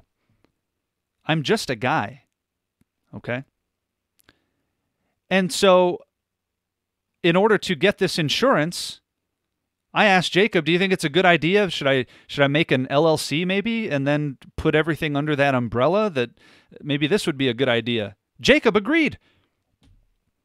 So there is a Servus Christi Ministries LLC on paper that I have done absolutely nothing with. It was placed on paper for a very practical reason, and I never pursued it any further. I did not acquire the insurance. I don't even know where the paper is. I don't know if the LLC is still uh, registered. But Jacob Prasch himself agreed with this idea. It wasn't for some uh, commercial business reason, it was for an insurance reason. But what makes this so astounding, again, as the as the projection artist would have it, he says, This is what actually happened and why. It's a matter of an LLC and monetization. Look, Moriel is not and never will be a monetized LLC. Yeah. Well, you know what is an LLC? According to OpenCorporates.com, the Remnant Truth Network LLC. That's right. The Remnant Truth Network, featuring Jacob Prasch and Moriel Ministries. If you can see the director and officer down here is David Lister. What do you know? A domestic limited liability company registered in Austin, Texas, presided over or directed by David Lister. You know, the RTN TV online Bible study that Jacob Prasch talks about? Yeah, that's an LLC. So while he's lamenting that Servus Christi Ministries was registered as an LLC, he happily operates under the banner of the Remnant Truth Network, LLC. What a staggering, gaslighting hypocrite. Uh, you can't write this stuff. This is insane. Shameless. A shameless liar. There you go. Devore Truth with Marco Quintana and John Haller and Moriel and Sandy Simpson. You know what their RTN TV website has that mine doesn't? A big, shiny, massive donate button just flashing at you on the page with all kinds of credit cards. Is this a ministry or a business, Jacob? I don't have one of those. A big, flashy donate button. Leave it to the man who takes infomercial templates to lament an LLC that he suggested I register for insurance purposes my goal is money. I got a funny way of promoting my so called commercial business. I didn't even produce a video in about five months. This man is such a liar. It's incredible. This is what actually happened and why. Notice what he says. It's a matter of an LLC and monetization versus a non commercial ministry. It's interesting that Jacob mentions that. Well, here's a video from YouTube. You could see Devore Truth. That is Marco's Marco Quintana's channel. Right? There's a couple of videos here. We'll click on this. Click on this video, and oh, what do you know? There's an ad on Marco's video. Advertisements or monetization. What does Jacob Prasch have to say about that? I'm sure the spin doctor has some kind of justification. That's Devore Truth with Marco Quintana. Okay, let's pop over here to Fellowship Bible Chapel with John Haller. Okay, let's click on this video. And what do you know? An ad. There's an ad on John Haller's uh, channel and, and video here. Fellowship Bible Chapel monetization. Does Jacob have a problem with that? Or is he a lying hypocrite? How about uh, how about Dean uh, Dean Gibson here? Dean Gibson. Click on this. Oh, what do you know? This is a Jacob Prasch video. Jeremiah 23. Woe to the pastors. Jacob Prasch. And what do you know? There's an ad on it. Monetization from Jacob's new sister ministry, Dean Gibson, the man that apparently helped him construct one of his several fake websites. Um, and who has conspired to uh, help him pass on his lies. There you go. So much for lamenting monetization. On that note, again, I must reinforce that you go to Devore Truth to Fellowship Bible Chapel, to Dean Gibson's channel, and of course, to Moriel Ministries, and you unsubscribe from them immediately. Purge from yourselves the evil person. Is this a ministry or a business? He says Moriel is not and never will be a, com- a monetized LLC. Oh, but the Remnant Truth Network is. And there's ads on all three of those channels. Hmm. But uh, I'm a commercial business, he says, misrepresenting myself. While Jacob is apparently literally misrepresenting every aspect of himself. But on the Moriel.org website, on the official website, they have links to their quarterly. All right, there you go. Moriel.org newsletter, publicly available on their own website. You can see the Moriel branch office, Moriel UK, where Jacob lives in the United Kingdom. Natalie Alon, who has uh, enabled Jacob to lie. Unfortunately, this is a woman I once considered a, a, a friend, somebody that I've met, and um, somebody who has sadly been uh, wooed by all that appears to glitter in Moriel. Well, you can see she's the leader, the director of Great Britain, Great Britain Administrator, and the address in the United Kingdom there 118 Pall Mall, London, SW1Y 5ED, England, United Kingdom. Okay? 118 Pall Mall. Anybody from the United Kingdom probably instantly recognizes at least part of this address. This is a fairly sought after neighborhood in general, a well recognized neighborhood. And if we input that address, 118 Pall Mall, London, SW1Y5ED, into uh, Google, what do we get? Well, we get an address at the prestigious Institute of Directors. You can see down here raise your company's profile with a prestigious London address at 118 Pall Mall. Interesting. Institute of Directors Virtual Office can offer you and your business all of that and so much more. Choosing to work with Institute of Directors Virtual Office and registering your company in Pall Mall will not only raise the profile of your business and give it more a more professional image, but it will also increase customers' trust in your company and their feeling of security. A SW1 postcode and a London uh, phone number will position you right in the heart of the capital at one of the most desirable locations for any firm in the United Kingdom. So Moriel UK is firmly yoked up with an organization tailored for doing business. Is this a ministry or a business? Institute of Directors, where directors are made, run by directors for directors. If you're looking to connect to develop and influence your network and the wider business community, it says down here there are over 25,000 of us and we're all in it together. Together, we believe better directors make for better business. This is all about business. But if you're not convinced, how about the about section? We were awarded a royal charter to support, represent, and set standards for business leaders, like Jacob Prasch. Your point of view as a business leader um, seeking the opinions of the wider business uh, community, including access to business information. Reach your full potential as a business leader. There is little telling what coming years hold, will hold for UK business. It says that they encourage entrepreneurial activity and promote responsible business practice for the benefit of our members and the business community as a whole.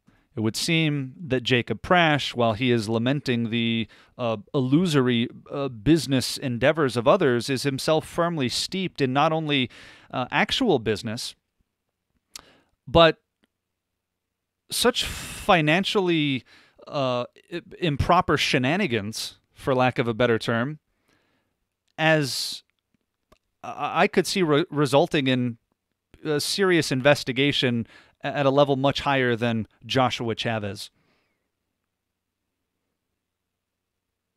This is staggeringly bad in every possible way. He has lied for years about taking a salary. We now know that he's not only paid a salary, but Moriel UK pays all of his living expenses.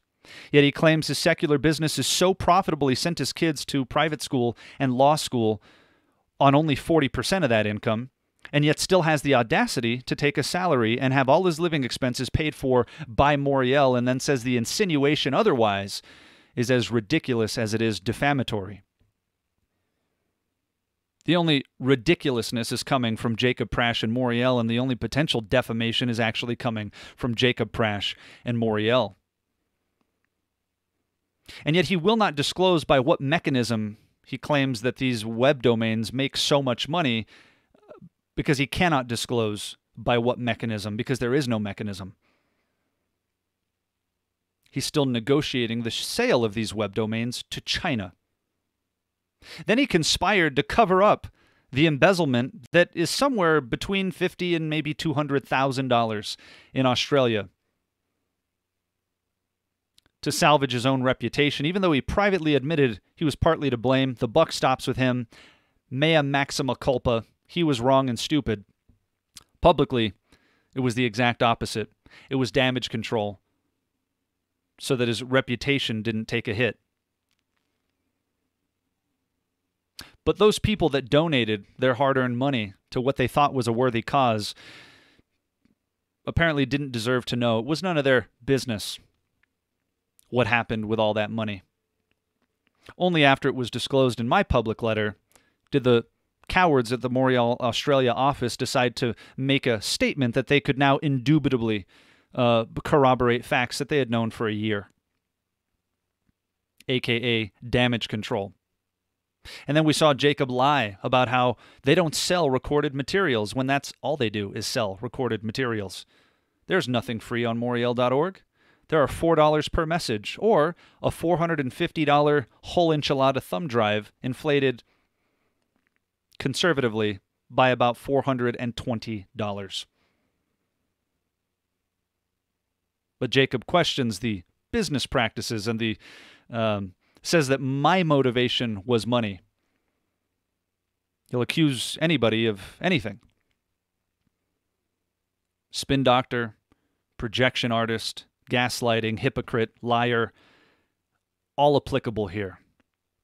Is this a ministry or a business? Well, Jacob is firmly situated at 118 Pall Mall with Moriel UK, which is designed all for business and to enhance a business profile.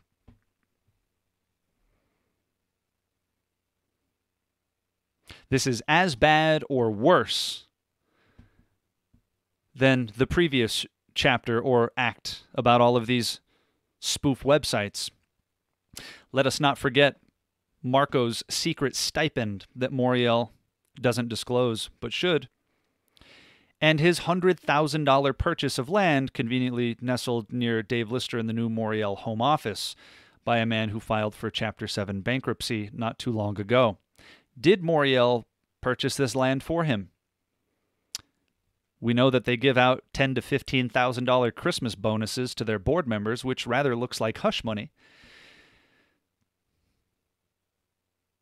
If you have donated any money to this organization, you need to stop immediately. Because if money is being embezzled, they just won't tell you. We know that because they didn't do it in Australia. Not until I told you for them. Then they came out with a damage control statement, but they were happy to keep that from everybody for as long as they could because they knew their enemies would try to crucify him, and their reputation meant more to them than integrity. This is the behavior of hirelings. It's the behavior of Jacob Prasch, who again is not just disqualified from ministry, but is disqualified from fellowship per 1 Corinthians 5 11 through 13. He is not even to be eaten with, and you are to disfellowship him and those who are supporting, aiding, and abetting this activity, which includes but is not limited to Marco Quintana of Devore Truth, John Haller of Fellowship Bible Chapel, Dean Gibson, Sandy Simpson, Blair Waugh, and many others. And I suspect You're going to start seeing a whole lot of finger pointing in the Moriel organization and a lot of people jumping ship because this is what real evidence looks like. But not only has Jacob misrepresented uh, apparently uh, everything or so much of Moriel's finances, etc., it appears rather as though he has misrepresented his very identity for the better part of the last three decades, which we'll get in into in Act 3.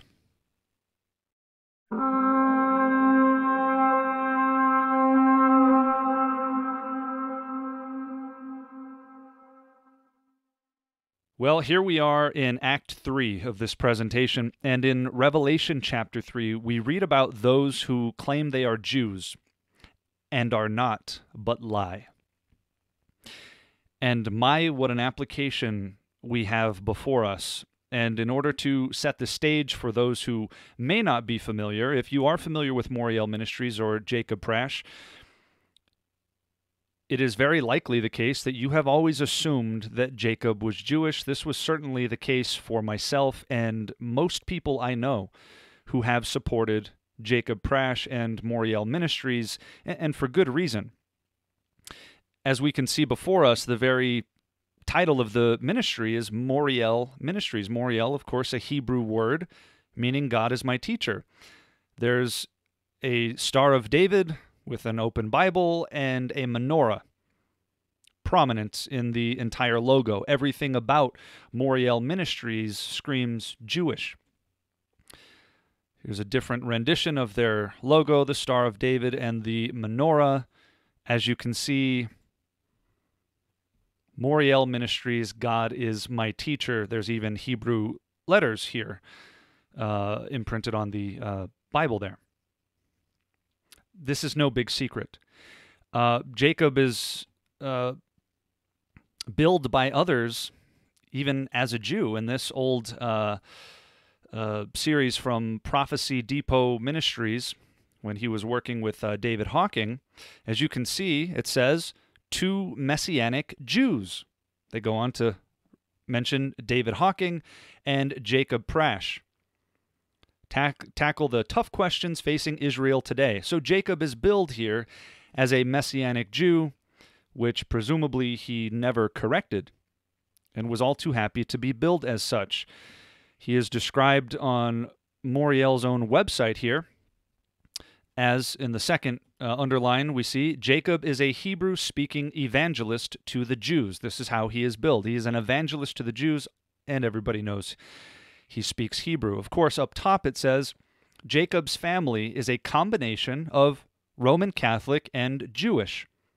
In his youth, he was forced to attend a Catholic school, but also attended the Jewish Community Center.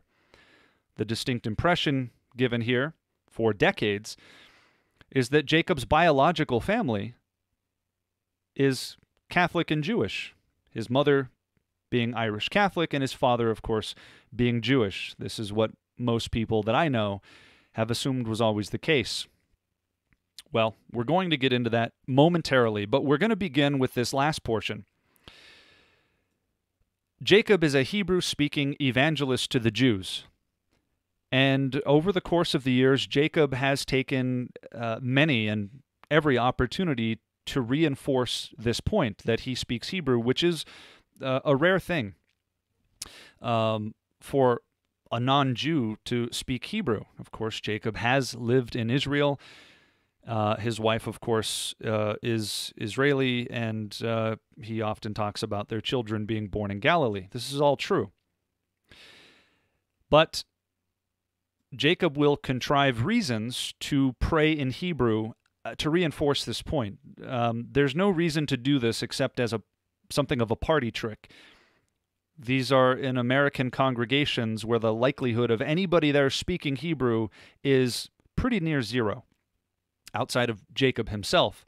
So this is intended to be a show, right? What profit it uh, what profit is it to anybody hearing you speak in another language if they don't understand what you're saying? There's a whole chapter in our Bible about about this, right?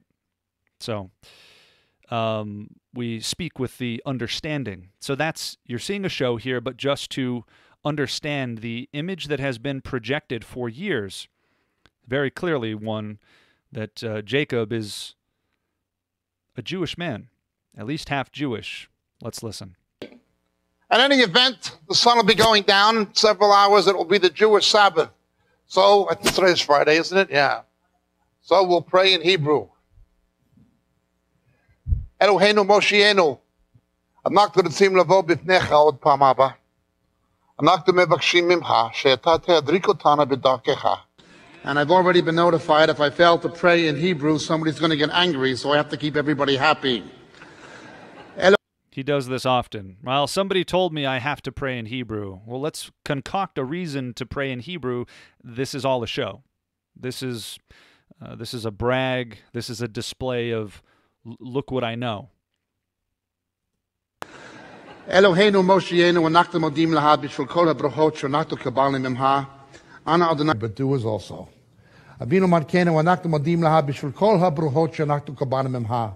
אנא אדוני תשפוך רוצים לבוא בפניך ולבקש ממך עלינו.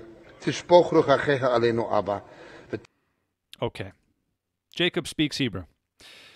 Um, in this particular video, notice how they titled it Women at the Well, Jacob Prasch, Hebrew speaking Jewish evangelist. This is how I myself characterized him at a time. I assumed he was Jewish because that is exactly the impression he wanted to give. It was a false impression. It has been a rather false impression for the better part of three decades, if not more. Now, the first sentence here Jacob's family is a combination of Irish Catholic and Jewish. In his youth, he was forced to attend a Catholic school, but he also attended the Jewish Community Center. Take a listen, and we'll unpack this. Now, again, if somebody said this, they might sound anti Semitic. I assure you, I am not anti Semitic. My family are Israeli Jews. His family. Hello, dear friends. My name is Jacob Prasch, and it's wonderful to be with you today. I'd like to share something with our Jewish friends, people from Jewish backgrounds, from the Jewish faith. My own family is a mixture of Jew and Gentile. Family. Growing up in New York, I went both to a Catholic school and the Jewish Community Center. I was both baptized, sprinkled as an infant, but circumcised as a baby. As a kid growing up in the New York area, I went to a Catholic school and the Jewish Community Center. As some of you know, I was both sprinkled and clipped.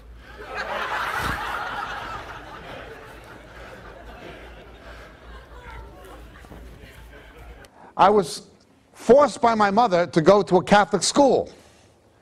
And I was sent by my father to a Jewish community center. I was both sprinkled and clipped. This is the running introduction with Jacob Prasch and Moriel.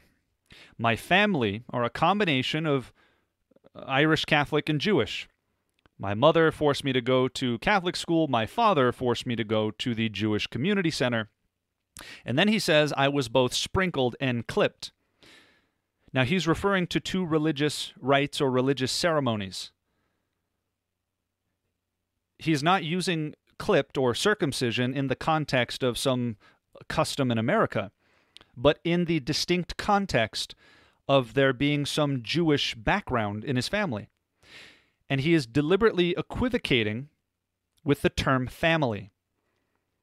The term family has two distinct definitions here, which he has done for years. It is pretty masterful, to be honest, the equivocation. What he is saying is very technically true, so he could never be called to the carpet on it. When he says, My family are a combination of uh, Irish Catholic and Jewish, he's making a reference to his biological family, his mother being of Irish descent and presumably his father, and his married family, namely his wife and children. His wife is indeed Jewish, but that is not the context that he's giving here. The impression is that his background, his biological background growing up, was a Jewish background. And when he says, I was sprinkled and clipped, right after, right on the heels of saying, I went to the Catholic school and the Jewish community center, the distinct impression is that he went through two different religious rites. This is important. My family background. Pay close attention here again. Jewish faith. My own family is a mixture of Jew and Gentile. Growing up in New York, I went both to a Catholic school and the Jewish Community Center. So he says, My family are a mixture of Jew and Gentile, and then immediately proceeds to tell you about growing up, how he went to the Catholic school and the Jewish Community Center. That is the only family that would be in your mind his biological family, his mother and his father. This is equivocation on such a grand scale. The family that is Jewish is his married family. He married a Jewish woman. But as we're going to see, there's a lot going on here. This has been his standard introduction for the better part of 30 years, if not more. I was sprinkled and clipped. I went through a religious passage in the Catholic Church and a religious passage in a Jewish synagogue. That is the very clear and undeniable impression that he has given deliberately. In this article here on Moriel, entitled Questions for Jewish People, you can see Jacob introduces himself up here. Shalom, my name is Yaakov hyphen Jacob. Right? This is a, a Jewish rendition of the name Jacob. His name is James.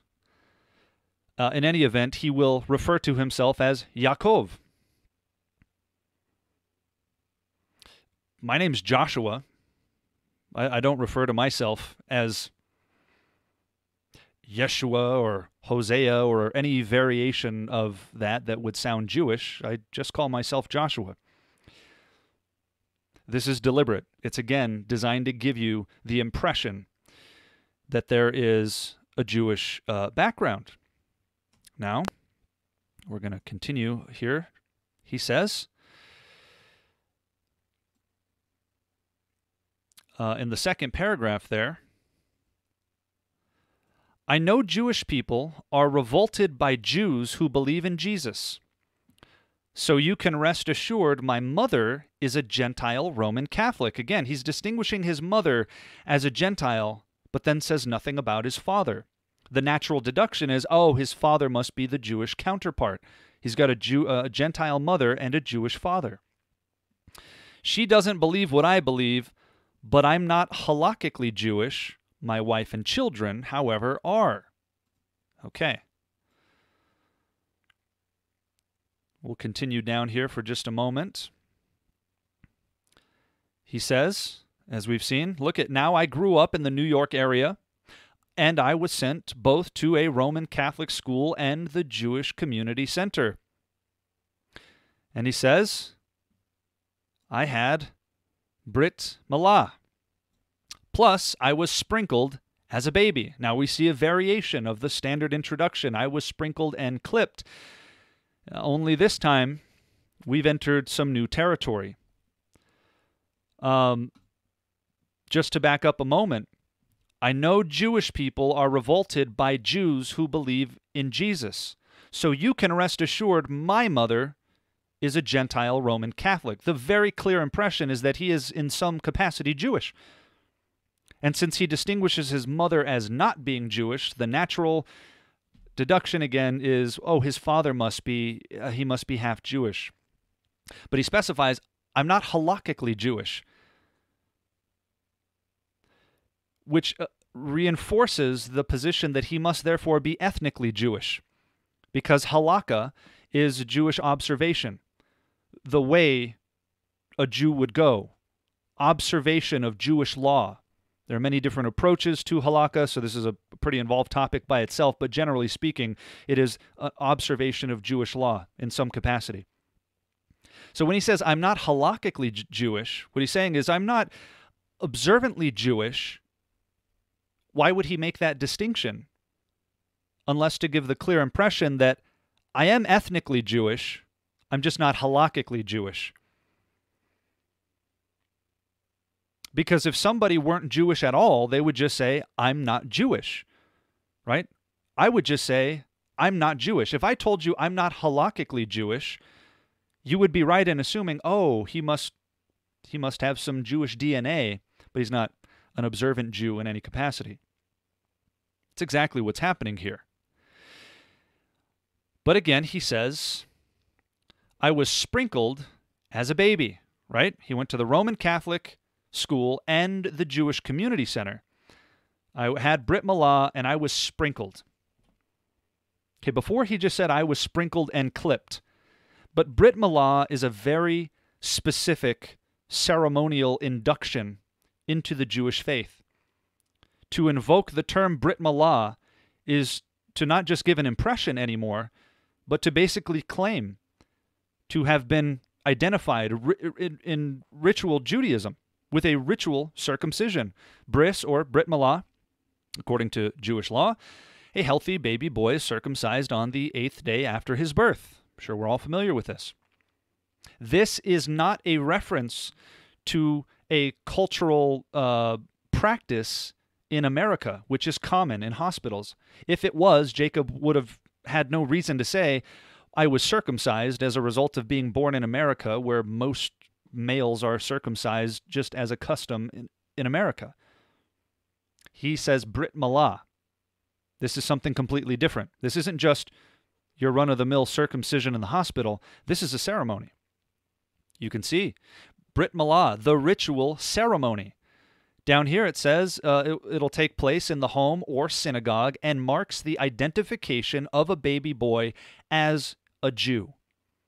That's what Brit Milah is, which is interestingly part of halakha, which Jacob says he is not. He is not halakhically uh, Jewish, but he says that he had Brit Milah, which is part of halakha.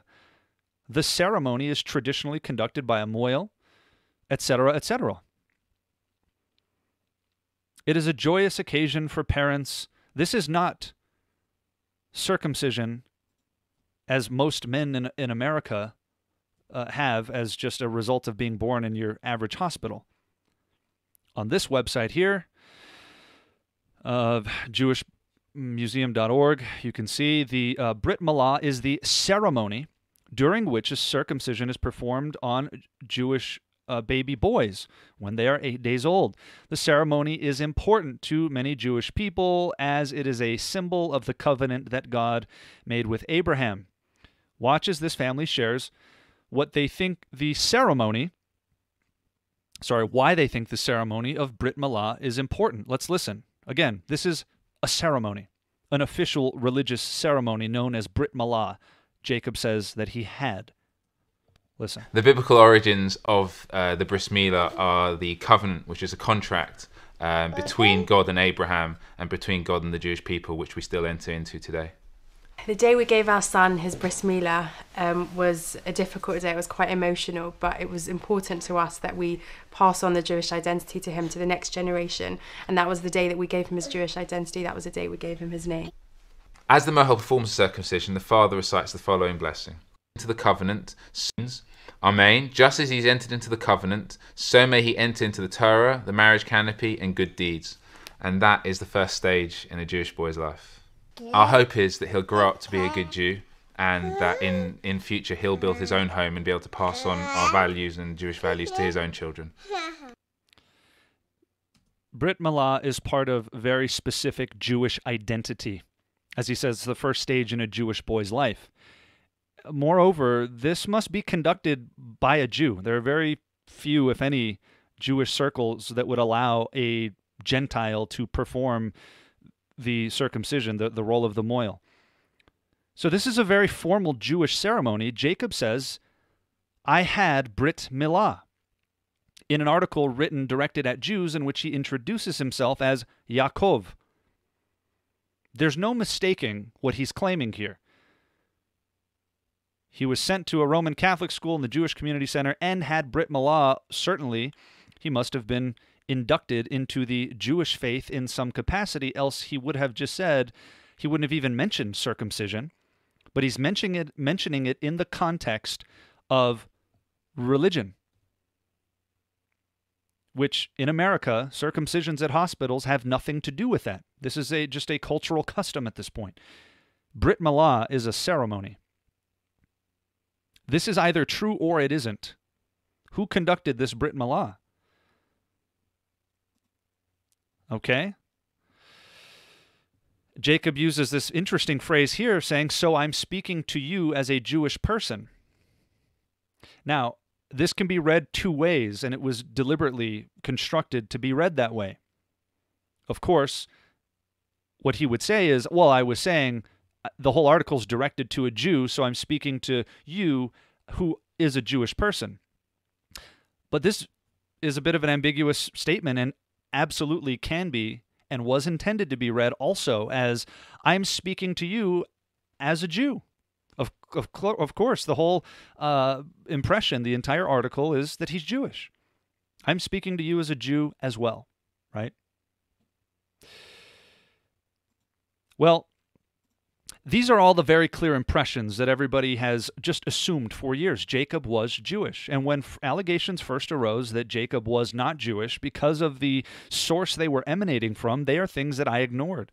I thought this was just another hit piece, some attack on Jacob. Much like the financial issues that we've looked at, I started looking into this after realizing that there were these other massive problems. And unfortunately, it appears that those who said Jacob was lying about being Jewish all these years were in fact correct. Now, another brother uh, who we've already read some from wrote this uh, email in uh, July, on July 19th, I believe it was. Again, supported Moriel for years. And here's one of the things he says in that email there is another item that has concerned me that hopefully can be addressed more clearly.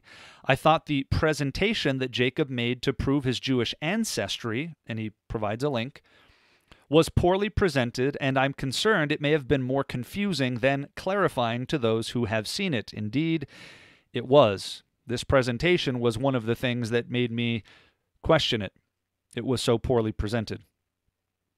For example, the sheet that was presented didn't show the percentage of Jewish ancestry, but instead a boilerplate migration map. The other sheet showing DNA origin percentages should have been presented. I know this because I have my DNA report from the same company. At best, the DNA video was incompetently presented. Presenting it more competently would remove any lingering doubt, deny Moriel's detractors this avenue of attack, and alleviate any confusion. This point was completely sidestepped by the entire Moriel board entirely. What is he referencing? For those that don't know, while the claims made in this article and over the years in various books, his presentation, the constant reference to Hebrew, he was dipped and clipped, all of those are very distinct presentation, but Jacob ups the ante in a presentation about his DNA. Now there's no room for ambiguity whatsoever. Pay attention. This is in response to allegations made by Chris Rosebrough and others that there was some question about his ancestry something wasn't right. Now, what else you want to see? How about my DNA? Let's DNA. look at my DNA. Signed by a geneticist, a genetic biologist, dated Jacob Prasch, DNA. I don't want you to see my number. However, Ireland is up here. If you don't know what's on the other side of Great Britain opposite Scotland and Wales. That's this is only Y chromosome. It is only paternal. The Khazar Empire, of course, converted to Judaism and immigrated into Eastern Europe and intermarried with the Jewish community. As you see, my DNA came from the Middle East and merged with the Khazar DNA. Even gives the percentages. 12% Khazar, 38%, etc. Now, this is only the Y chromosome. It's my father. My mother is 110%, well, nearly all Irish and a little bit Scandinavian. That's me. The fact that If you're confused, you're in good company. There's nobody seeing that that wasn't more confused afterward than they were before. There are these cuts. There, there's this map that is shown with a bunch of arrows, and he's explaining the Khazar Empire. Doesn't show you any percentages. Doesn't show you anything that even remotely indicates that he's Jewish. He just says, "Look, my name's up here, and here's a bunch of arrows, and this has to do with the Khazar Empire, and my DNA merged with it." Uh, incompetent is an understatement. It's actually deceptive, deliberately so. Pay attention. Oh, yes. By the way, I was circumcised, but I'm not going to show you the proof of that. You'll have to take my word for it. Again, he brings up circumcision in the context of defending his Jewishness. Right? So, School, listen. my mother sent me to a Catholic school. At the behest of my father, I was sent to a Jewish community center. I was in no way brought up in the Jewish faith or religion. I studied Judaism at Cambridge and at the Caspari Center in Jerusalem, which is a branch of Cambridge, and so forth. I speak Hebrew. My family are Israeli, but my own background was Roman Catholic, primarily due to my mother. In other words, by way of background, yes, I was in the Jewish community, but I was never in the Jewish faith. Well, now we have a bigger problem because this isn't about the Jewish community or the Jewish faith, but now we're talking about uh, claims about his own DNA. Uh, but he still says, My family are Israeli. Now, again, he's now referring to his married family, not his uh, biological family. Okay? But again, going back, listen to what he says specifically about his DNA. Again, we're not even talking about the, the faith or the community, but his DNA now. Jacob Prasch, DNA. I don't want you to see my number. However, Ireland is up here. If you don't know, it's on the other side of Great Britain, opposite Scotland and Wales. That's this is only Y chromosome. It is only paternal. So again, he's just talking about his father. Again, there's this this impression about his father. The Khazar Empire, of course, converted to Judaism and immigrated into Eastern Europe and intermarried with the Jewish community. As you see, my DNA came from the Middle East and merged with the Khazar DNA. Even gives the percentages 12% Khazar, 38%, etc. 12% Khazar, but he keeps talking about the intermarrying with the Jewish people. That's where his DNA came from. And this is all a lie. Demonstrably, that same brother who sent them the letter in July followed up on August 7th.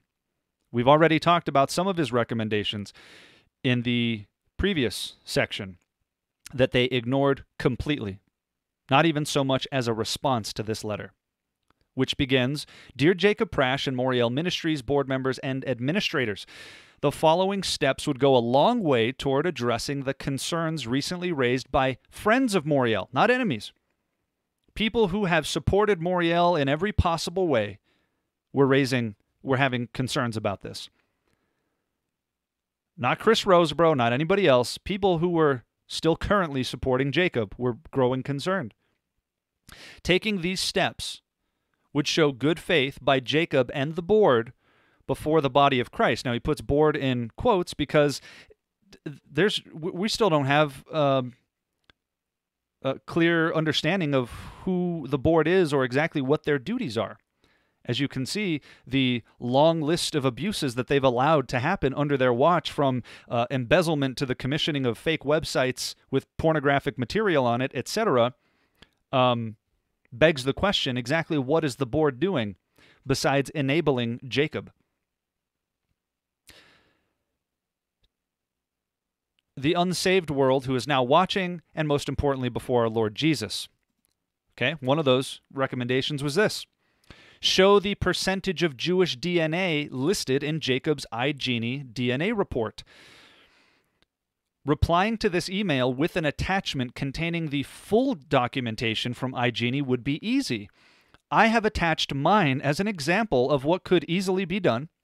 Why not simply do the same? As I stated in my recent letter to some of the Moriel board members and administrators, this would also alleviate so much of the pressure and add so much clarity.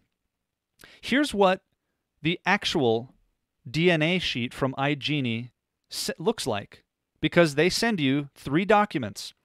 The actual DNA percentage sheet that Jacob did not show is this. This brother had his DNA done by the exact same company. So this is as fair a comparison as possibly imaginable. It's from the exact same company. As you can see, the percentages are very clearly listed. American Indian from Central and South America, 23%, American Indian North America, 8%, Greece and Balkans, etc., etc. If Jacob wanted to confirm his Jewish ancestry, certainly he would have shown these percentages in clear cut language. What he showed was this paper, which we can see side by side with this other brother's, is identical. Why is it identical? Because everybody receives the exact same map from iGenie. This is not the DNA percentages. This is uh, the origins of mankind migration map. They are identical. Look, they're in the exact same location. The arrows go the same way. Everybody gets this paper. There are these blue arrows. There's the long red arrow and, and the green arrows. Now, let's listen again to what Jacob says about this. As you can see, already quite deceptive. Why would he show this map instead of this one? This is the only DNA percentage map they sent him, and that's the one he didn't show while talking about his DNA. Well, he did this on purpose. Listen. The Khazar Empire, of course, converted to Judaism and immigrated into Eastern Europe and in- I'm going to pause it for a moment. Moment. He's talking about the Khazar Empire again. Okay. As you can see at the bottom of your screen, it shows 50% and 18%. So 50% of this red arrow, 18% of this green arrow, but there's nothing listed there. Why does it 50% what? What does the red indicate? Well, Jacob had that deleted on purpose because it would conflict with the lie that he's telling right here. They're married with the Jewish community. As you see, my DNA. We don't see. We don't see anything because it was concealed deliberately. Came from the Middle East mm-hmm. and merged with the Khazar DNA. That is not what that it, map means. It, listen, it even gives the percentages, he says. Even gives the percentages 12% Khazar, 38%, etc. Here's what it actually looks like. The uh, here's the other brother's map. You know what those arrows mean? The blue one means Indo-European, red means hunter-gatherer, gray means non-European, and green means farmer. So using this legend, let's go back to Jacob's paper, which shows 50% of red. Red means hunter-gatherer. So 50% hunter-gatherer. You see 18% green Green means farmer. This is just talking about the type of people group that he came from. This is not the DNA. So he says, as you can see, it gives the percentages 12% Khazar. Listen. Even gives the percentages 12% Khazar, 38%, etc. 12% Khazar, 38%, etc. Khazar is not one of the words listed on this paper, which is exactly why Jacob had them blotted out. Notice 35% green, it says farmer, 24% hunter gatherer. Jacobs is blank, 50% blank with no indication of what.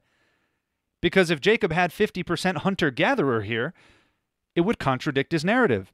18% farmer. This is not the DNA chart. Jacob lied on purpose. Again, this is the DNA chart. It shows the regions and exact percentages of where you came from. But this company, iGenie, has a specific section on Judaism on their website Jewish roots, DNA origins, and analysis. Special attention to detail given to those who are Jewish. DNA origins analysis. Are you Jewish? Let's read it together, straight from their website. Do you have Jewish roots? Are you Ashkenazi? Are you a Levi or a Cohen? A DNA test by iGenie provides you with clear evidence, clear, of whether you have Jewish roots. Based on your specific genetic characteristics, we can identify whether you are of Jewish descent, which line of Jewish descent uh, the Jewish descent is from, paternal, maternal, or both lines. That's how good this is. And even to what percentage you are Jewish. In addition, your profile is compared with more than 700,000 people in our database. If we find a genetic match, that is, uh, people who you correspond genetically, you may contact these people and intensify your family research. So they give very specific results about just how Jewish you are and just what uh, uh, lineage of uh, Jew you come from. That's how good their test is. Jacob shows the map that has nothing to do with the DNA and erases the words that say hunter gatherer and farmer and does not show the actual map, which would have looked something like this. And if he were Jewish, here's what it would look like straight from the company's own website. It would have said Jewish diaspora, something like this 40% Ashkenazi or Levi or whatever. It would have specifically said Jewish diaspora. Now, if Jacob's whole goal and aim in invoking his DNA was to clarify the Jewish ancestry of his father, which he did, go back and watch the whole video, the 666 virtue of Chris Rosebrough. It is unfathomable that Jacob would not have included the only document from that company that shows the actual percentage of his DNA. Instead, he shows the generic migratory map that everybody receives and then blocked out the words which said hunter gatherer and farmer as those weren't to do with his DNA. This is. It would have said exactly how much Middle Eastern DNA he had. According to them, it would have told them whether the DNA was paternal or maternal and the exact percentage, and it would have said Jewish diaspora. There is no possible way that Jacob would not have shown this.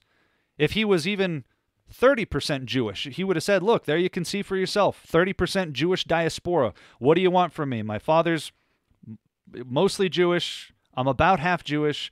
That's it. I didn't grow up in the Jewish faith, but my father's background was Jewish. That's that's all it is. This is a silly thing to lie about.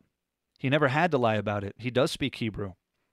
But Jacob has proven to be a habitual liar about nearly everything, including his very identity to the better part of three decades. Jacob lied about being Jewish. He did it deliberately. Apparently, he did this as s- some marketing uh, point. He says in his own book here, one of several Israel, the church, and the Jews. Remember, he constantly mentions his circumcision, even saying, I was circumcised, but I'm not going to show you that, in the context of is he Jewish or not. In his book here, he's talking about the types of what constitutes a Jew. There is the halakhic one set up by the Jewish religious law. According to halakhic law, remember, Jacob in the article says, I, am not halakhically Jewish. According to halakhic law, it would be by matriarchal descent, mother's side. If your mother was Jewish, or if you underwent a halakhic conversion to Judaism, in other words, circumcision, then you would get patriarchal inclusion if your mother was Jewish. Notice what he says here halakhic conversion to Judaism, in other words, circumcision. So when he says, I had Brit Milah, which is the formal ritual circumcision in uh, halakhic Judaism, he is saying that he did have that formal in- induction as a Jewish boy.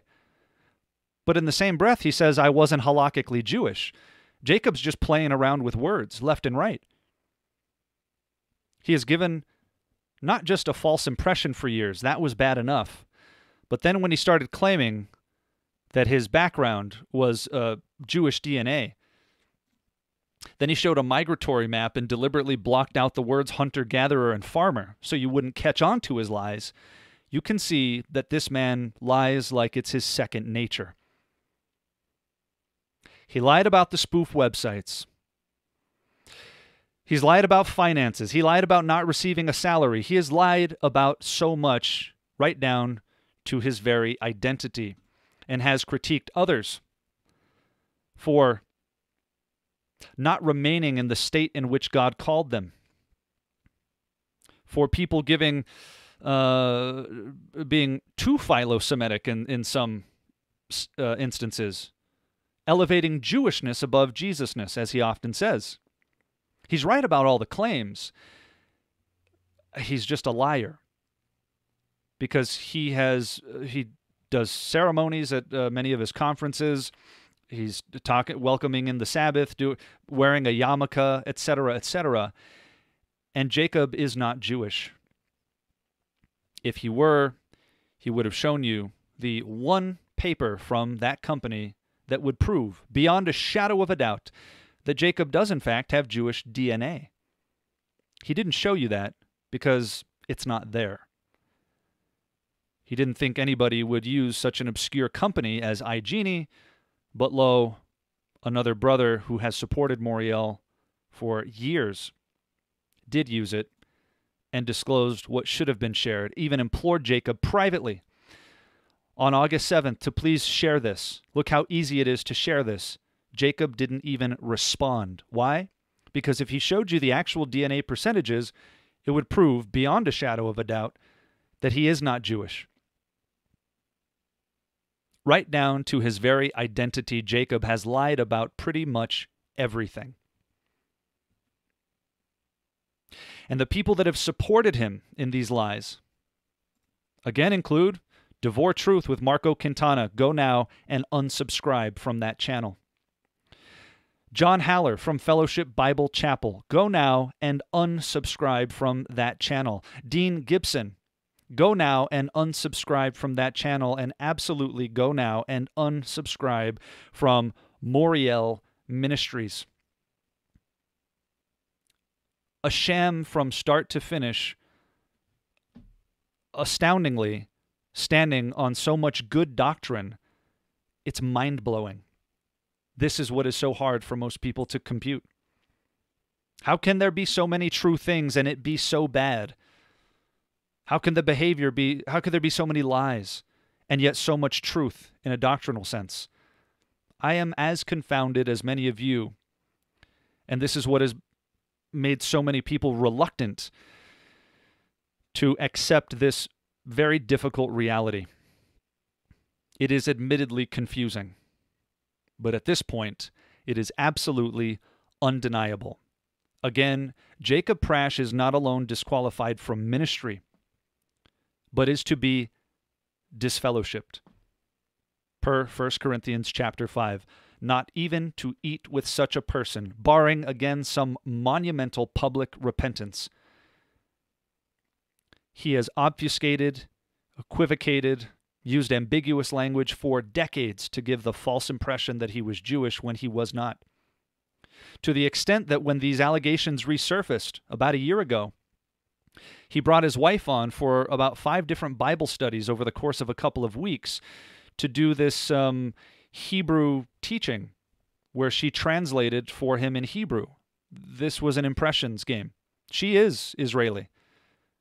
Her parents apparently were Holocaust survivors. Jacob did live in Israel, but he's not Jewish. He learned Hebrew.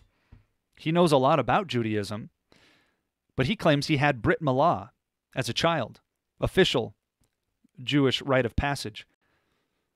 He claims his DNA is Jewish, merged with Jewish DNA, and then failed to show it because it was a lie. But he has given every impression deliberately that he was Jewish, and he wasn't. Those who call themselves Jews and are not, but lie. After seeing all the other undeniable lies and deceptions. A pill that has been very hard to swallow, and the big menorah in the middle of the room, as it were, for many who support Moriel, maybe now you can come to terms with just how bad this is on every possible level. We're now going to get into some brief rebuttals and conclude.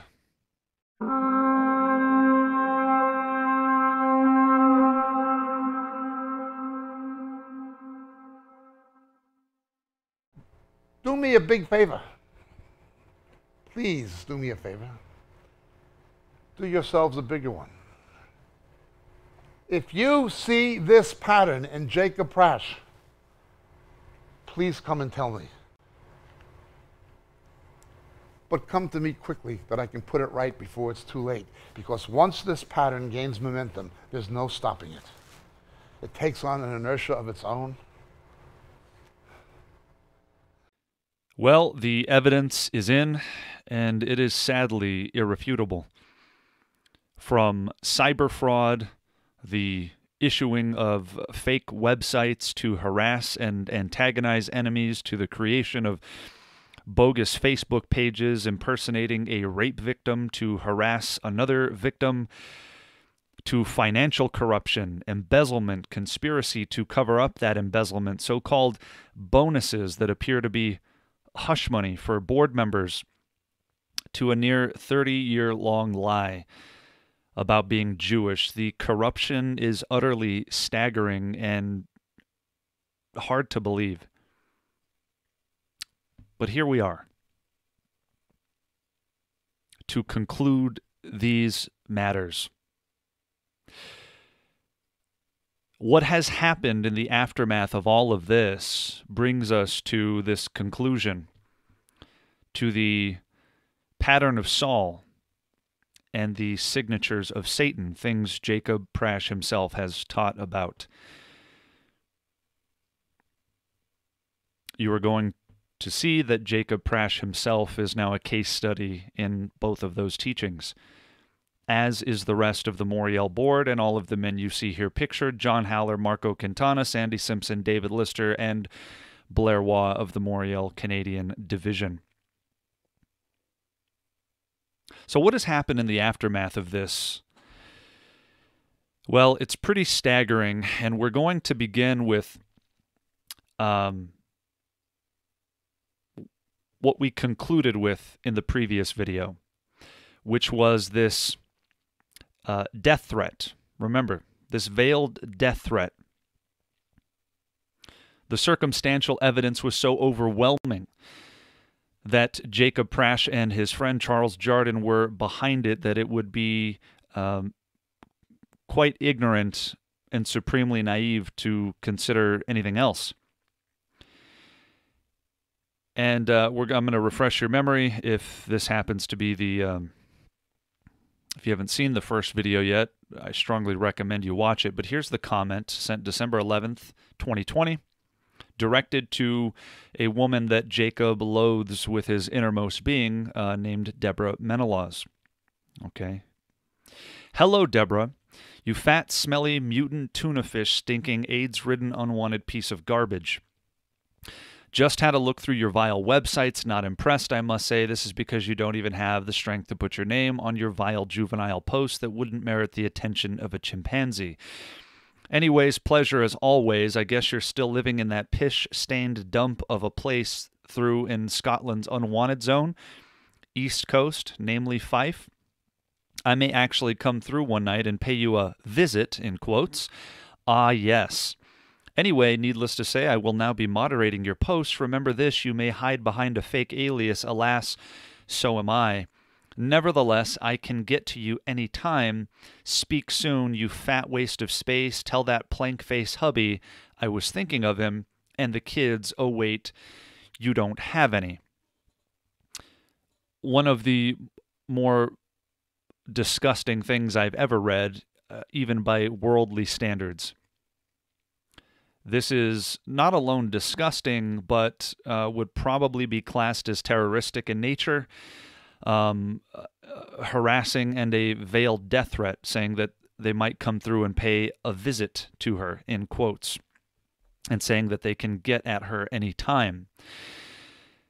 Well, the circumstantial evidence pointing to Jacob Prasch and his accomplice Charles Jardin was overwhelming. We now have a first-hand eyewitness in um, the former Moriel volunteer and former John Haller comment moderator, Linda McIntyre.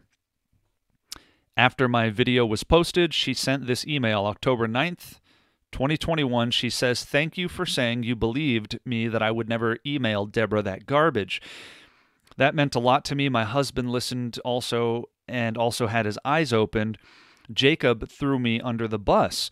I stopped speaking to Jacob or anyone else in Moriel eight weeks ago after I found out that Jacob, uh, Charles, and Jacob wrote that email to Deb. Deb and I are friends, she says. Jacob made Charles apologize to me, but I was furious when they told me what they did. And basically, I told Charles and Jacob to never contact me again. Charles hates me. His hatred of me is well known throughout the Moriel camp, etc., etc. She says, I found out what they did, and they told me what they did regarding this nasty email to Deb. Deb. Um, I wanted to make sure we were on the same page, so I asked her to clarify. She responded with this The nasty, dirty one that Jacob and Charles blamed me for calling Deb tuna smelling, etc. The veiled death threat we just read. She says, I finally saw that nasty email to Deb on Power Play Pause. She's using the term email, but she means this comment. That's why I wanted clarification. It's a it's a technical point, but that's what she's referencing. Uh, she says, I was shocked. I told my husband I didn't do it, and at that time I didn't know it was Charles and Jacob. My husband asked to read it.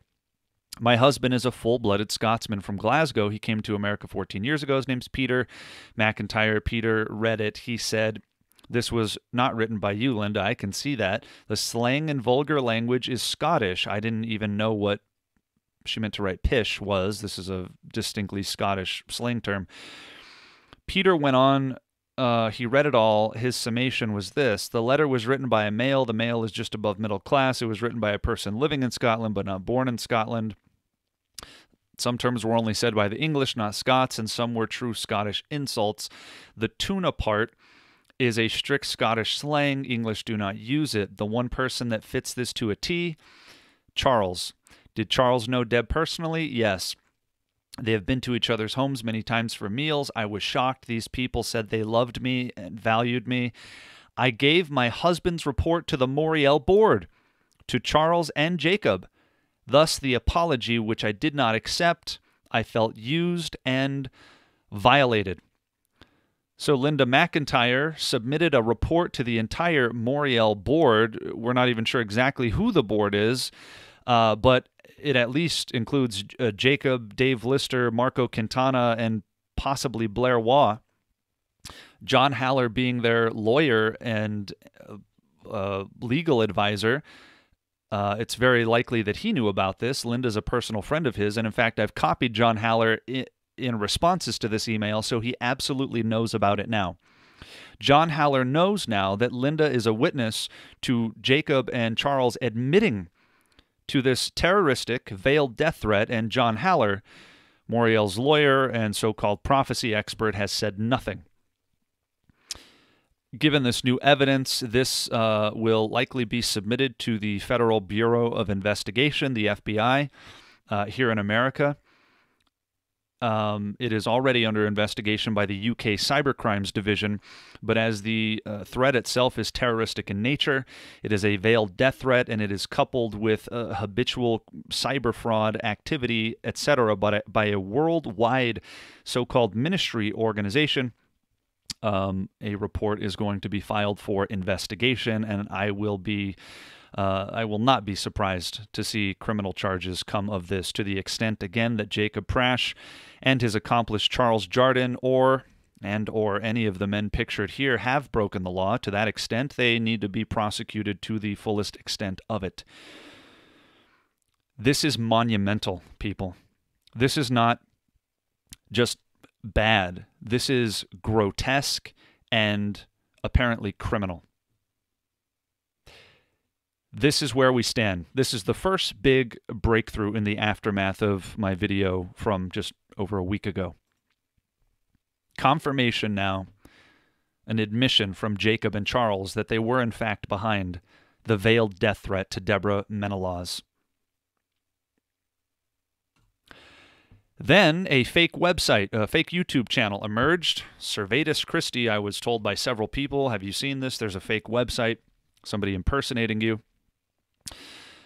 Um, this has been reported by several people. YouTube uh, should be investigating it as we speak. Um, I suggest you report this as well. Um, this website emerged. Uh, I knew immediately who was behind it, um, as we saw in the last video. The habitual business of Jacob and his accomplice Charles Jardin is to create fake websites, fake uh, channels of various descriptions from Facebook to BitChute to YouTube, etc. What they do is lurk in the shadows.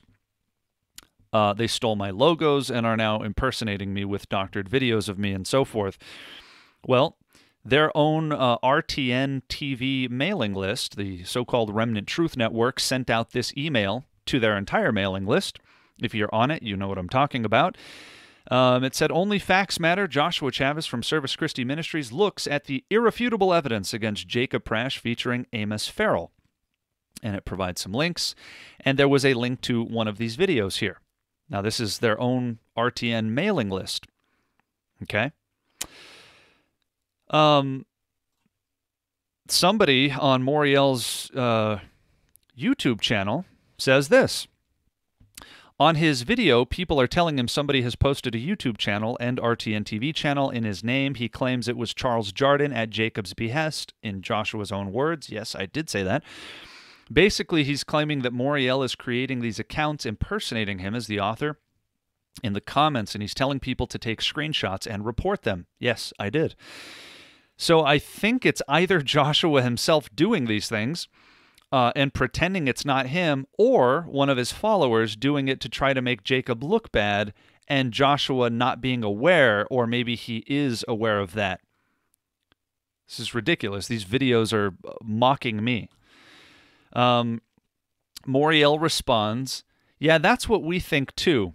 We're pretty certain Joshua himself created the spoof Facebook pages and other fake websites.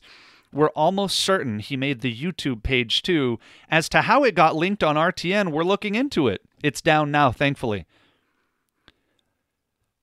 Uh, this is so preposterous. I- am just shocked to to see how. Uh, I'm I'm just shocked to see this. I can't believe they would say something so patently dumb. It is really a dumb thing to say. We're pretty certain. Look what they're doing. They're not only trying to blame me for creating a spoof site against myself, which mocks me, they're also trying to blame me for creating all the fake websites that we saw irrefutable evidence that Jacob and Charles were behind. This is how desperate Moriel has become. The very pattern of Saul emerging in Jacob and Moriel, as we're going to see they continue responding to another person. Um, that's exactly what we're trying. Notice they said here, though, uh, we don't know how it got linked on RTN. They're playing dumb about how it got on their own their own mailing list. I'll tell you how it got there. They did it. As we've already seen, this is what they do.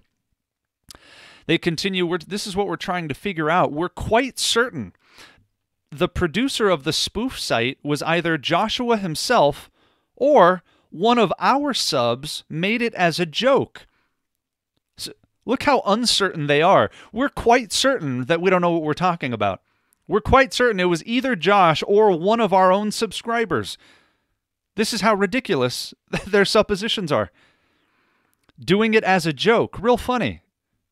If that's the case, it only speaks to the rotten fruit of the subscribers of Moriel. Remember, Jesus said when the Pharisees made converts, they were twice as much a son of hell as themselves. So it is with many of the Jacobites. As for RTN, our working theory is that someone there thought it was humorous and posted it on their site. We have no idea why they would do that, and we contacted them about it. That's why it's been removed. We have no control to upload anything onto their site.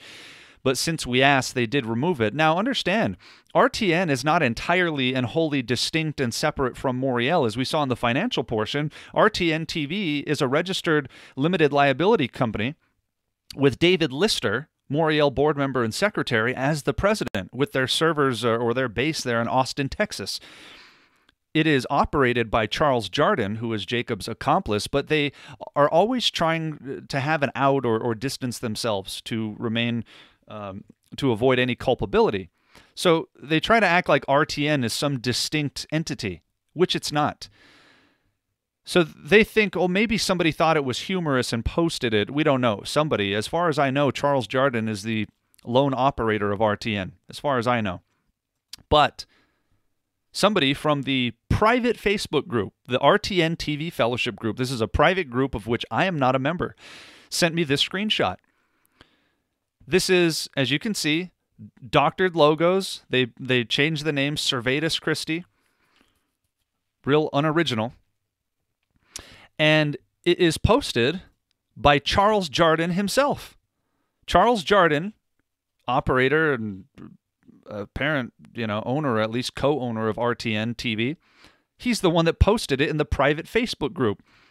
As you can see, this is not a YouTube link. This is rtntv.org. This is uploaded to their own server. So, what's the working theory there now? Charles Jardin posted it.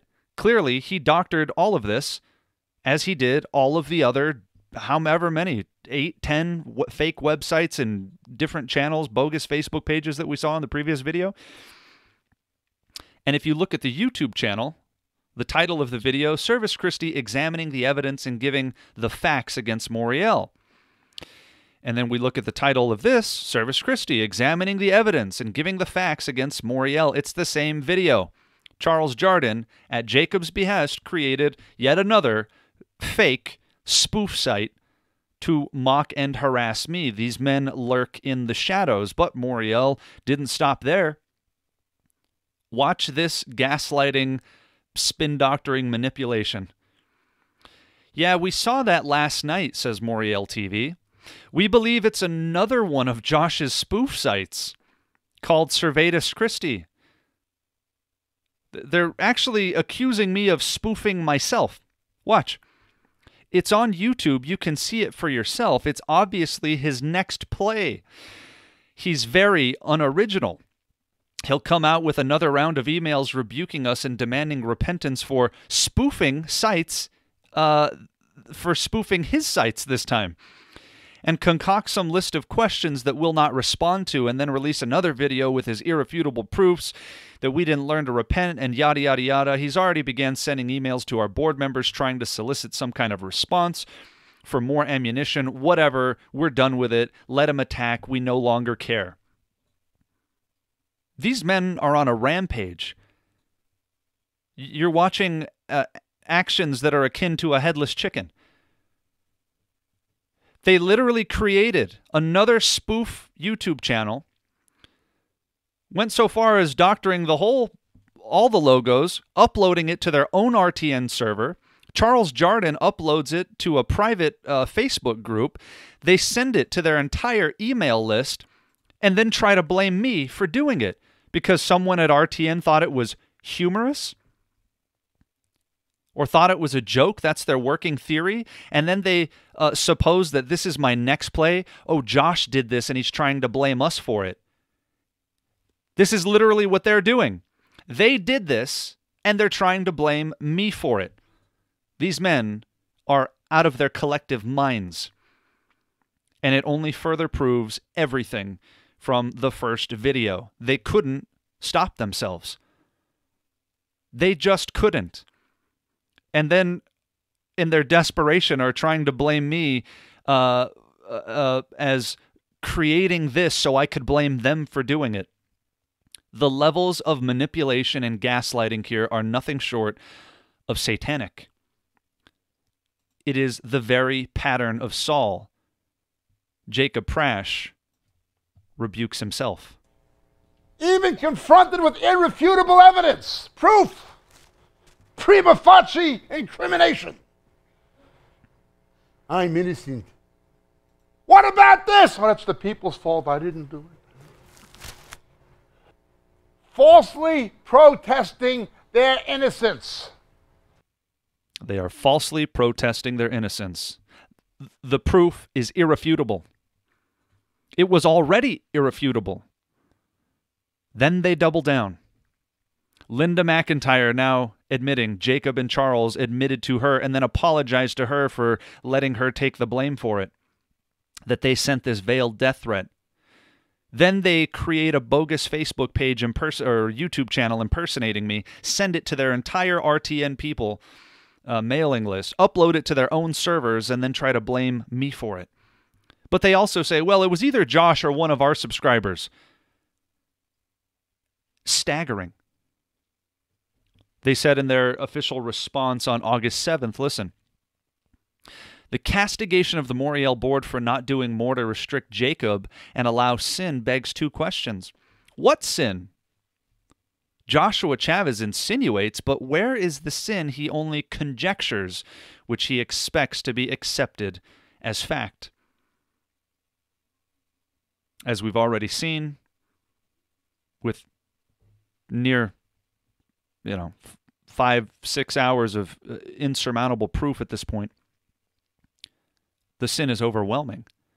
And they knew about all of it and conspired to cover it all up and yet they falsely protest their innocence just like Saul did. After they begin building the monument to themselves, you will see religious narcissism. A religious narcissist is like any other narcissist. They will never take responsibility for their own faults and failures.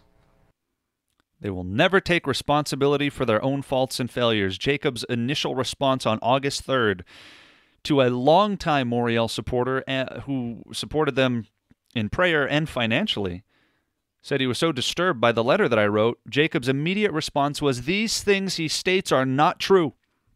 And those who know him and me know they are not true. In Jesus, Jacob. Falsely protesting his innocence. Why? because he's a religious narcissist, a malignant one at that. He will never take responsibility for his own actions, even when confronted with irrefutable proof. Jacob will continue, and has continued falsely, protesting his innocence, as has the entire Moriel board, including their lawyer, John Haller.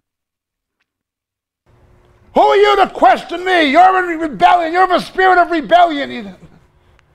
Wait a minute, this is not scriptural. I'll tell you what's scriptural. When a leader is no longer hearing from the Lord, they look for an alternative voice to listen to, pretending it is the Lord. God doesn't talk to them anymore. They're no longer hearing from the Lord. It's precisely where we're at. God is not talking to Jacob anymore. He's no longer hearing from the Lord. He's looking for another voice, perhaps his own, and calling it the Lord. You are watching the pattern of Saul unfold before your eyes. These clips should be haunting to you. They should be eerie to hear this, to hear this man preach against himself the exceeding sinfulness of sin. Look how blinded he is. As blind as Saul was. It is shocking.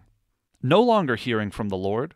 So much so, so bad is it that his own henchman, his own accomplice, his own uh, co conspirator in all of these uh, activities, Charles Jardine, wrote this email to former board member Amos Farrell in May of this year.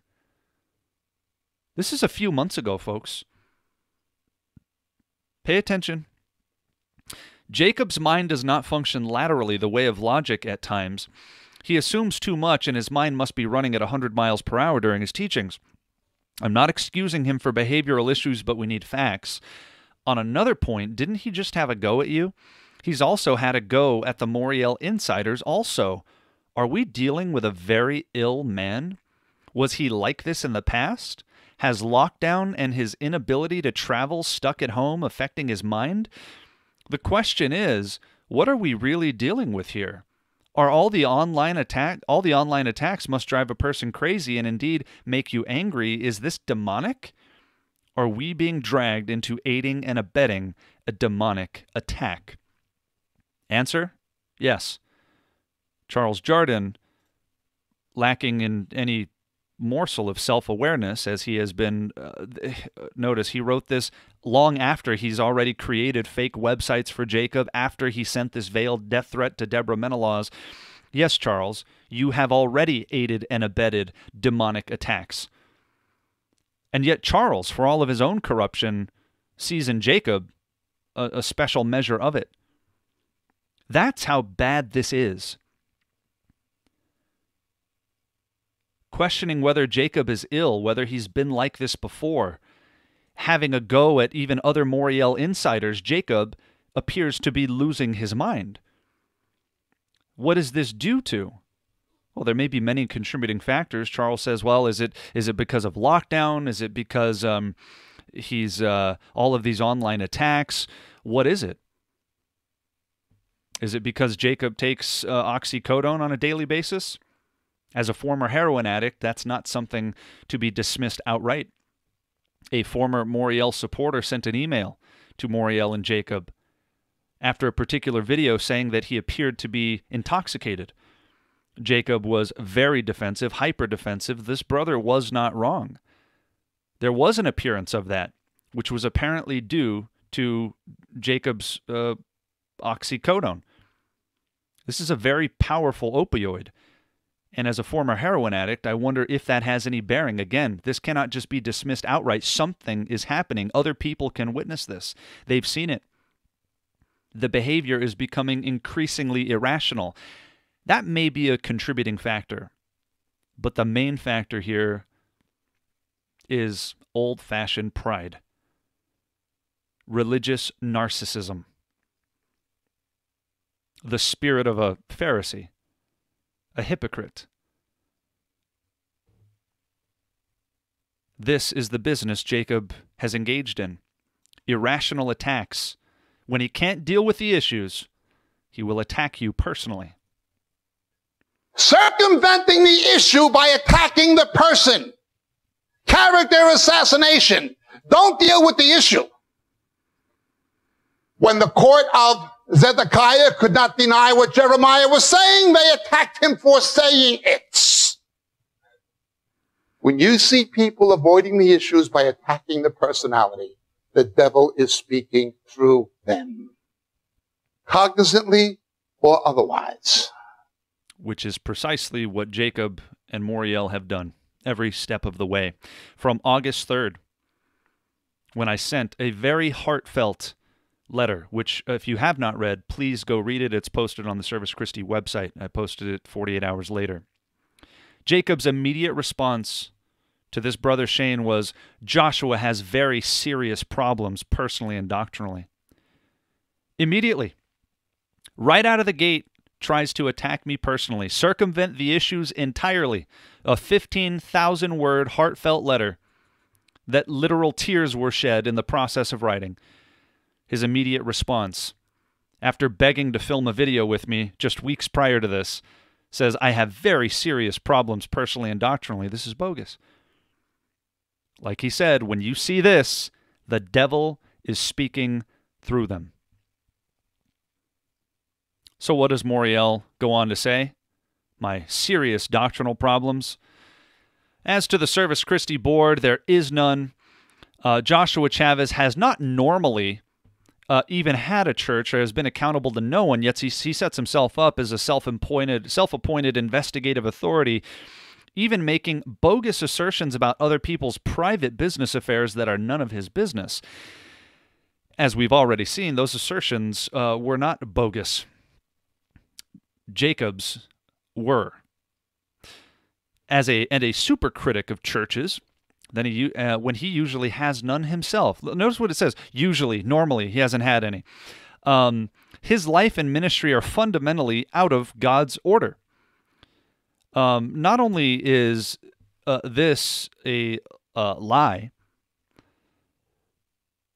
it begs the question, right? Moriel themselves did an entire seven part series in Canada, which I filmed, called Church for the Churchless.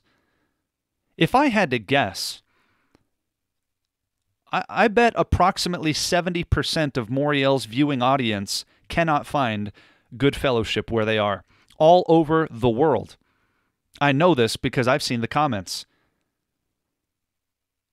I bet you it is very near a 70% figure of the Moriel viewing audience that cannot find good and meaningful fellowship where they are and are absolutely the people whom this series was directed toward. Church for the churchless. Look at the first one, uh, session four, starting a house church. So Moriel unwittingly condemns a massive swath of their own viewing audience in a desperate attempt to assassinate my character to circumvent the issues the devil is speaking through them. But more than this, Moriel's own Sandy Simpson has no fellowship. Somebody asked him, I believe, on August 5th in their Zoom teaching, Sandy, where do you go to church? His response was, I can't find fellowship at this time. So Sandy Simpson has no fellowship. Does Moriel condemn him as well? Staggering. But perhaps most staggering is Jacob himself. Former Moriel board member Amos Farrell confirms Jacob himself does not have a church nor a pastor. So while they're over here uh, grandstanding and pretending um, a situation that doesn't exist in order to detract from legitimate issues. Jacob himself does not attend a church and does not have any oversight. We have already seen that his uh, so called board in Moriel is basically illusory. They're a paper tiger there to collect a check, receiving ten to fifteen thousand dollar Christmas bonuses, so that they look the other way when Jacob's corruption is taking place in front of them.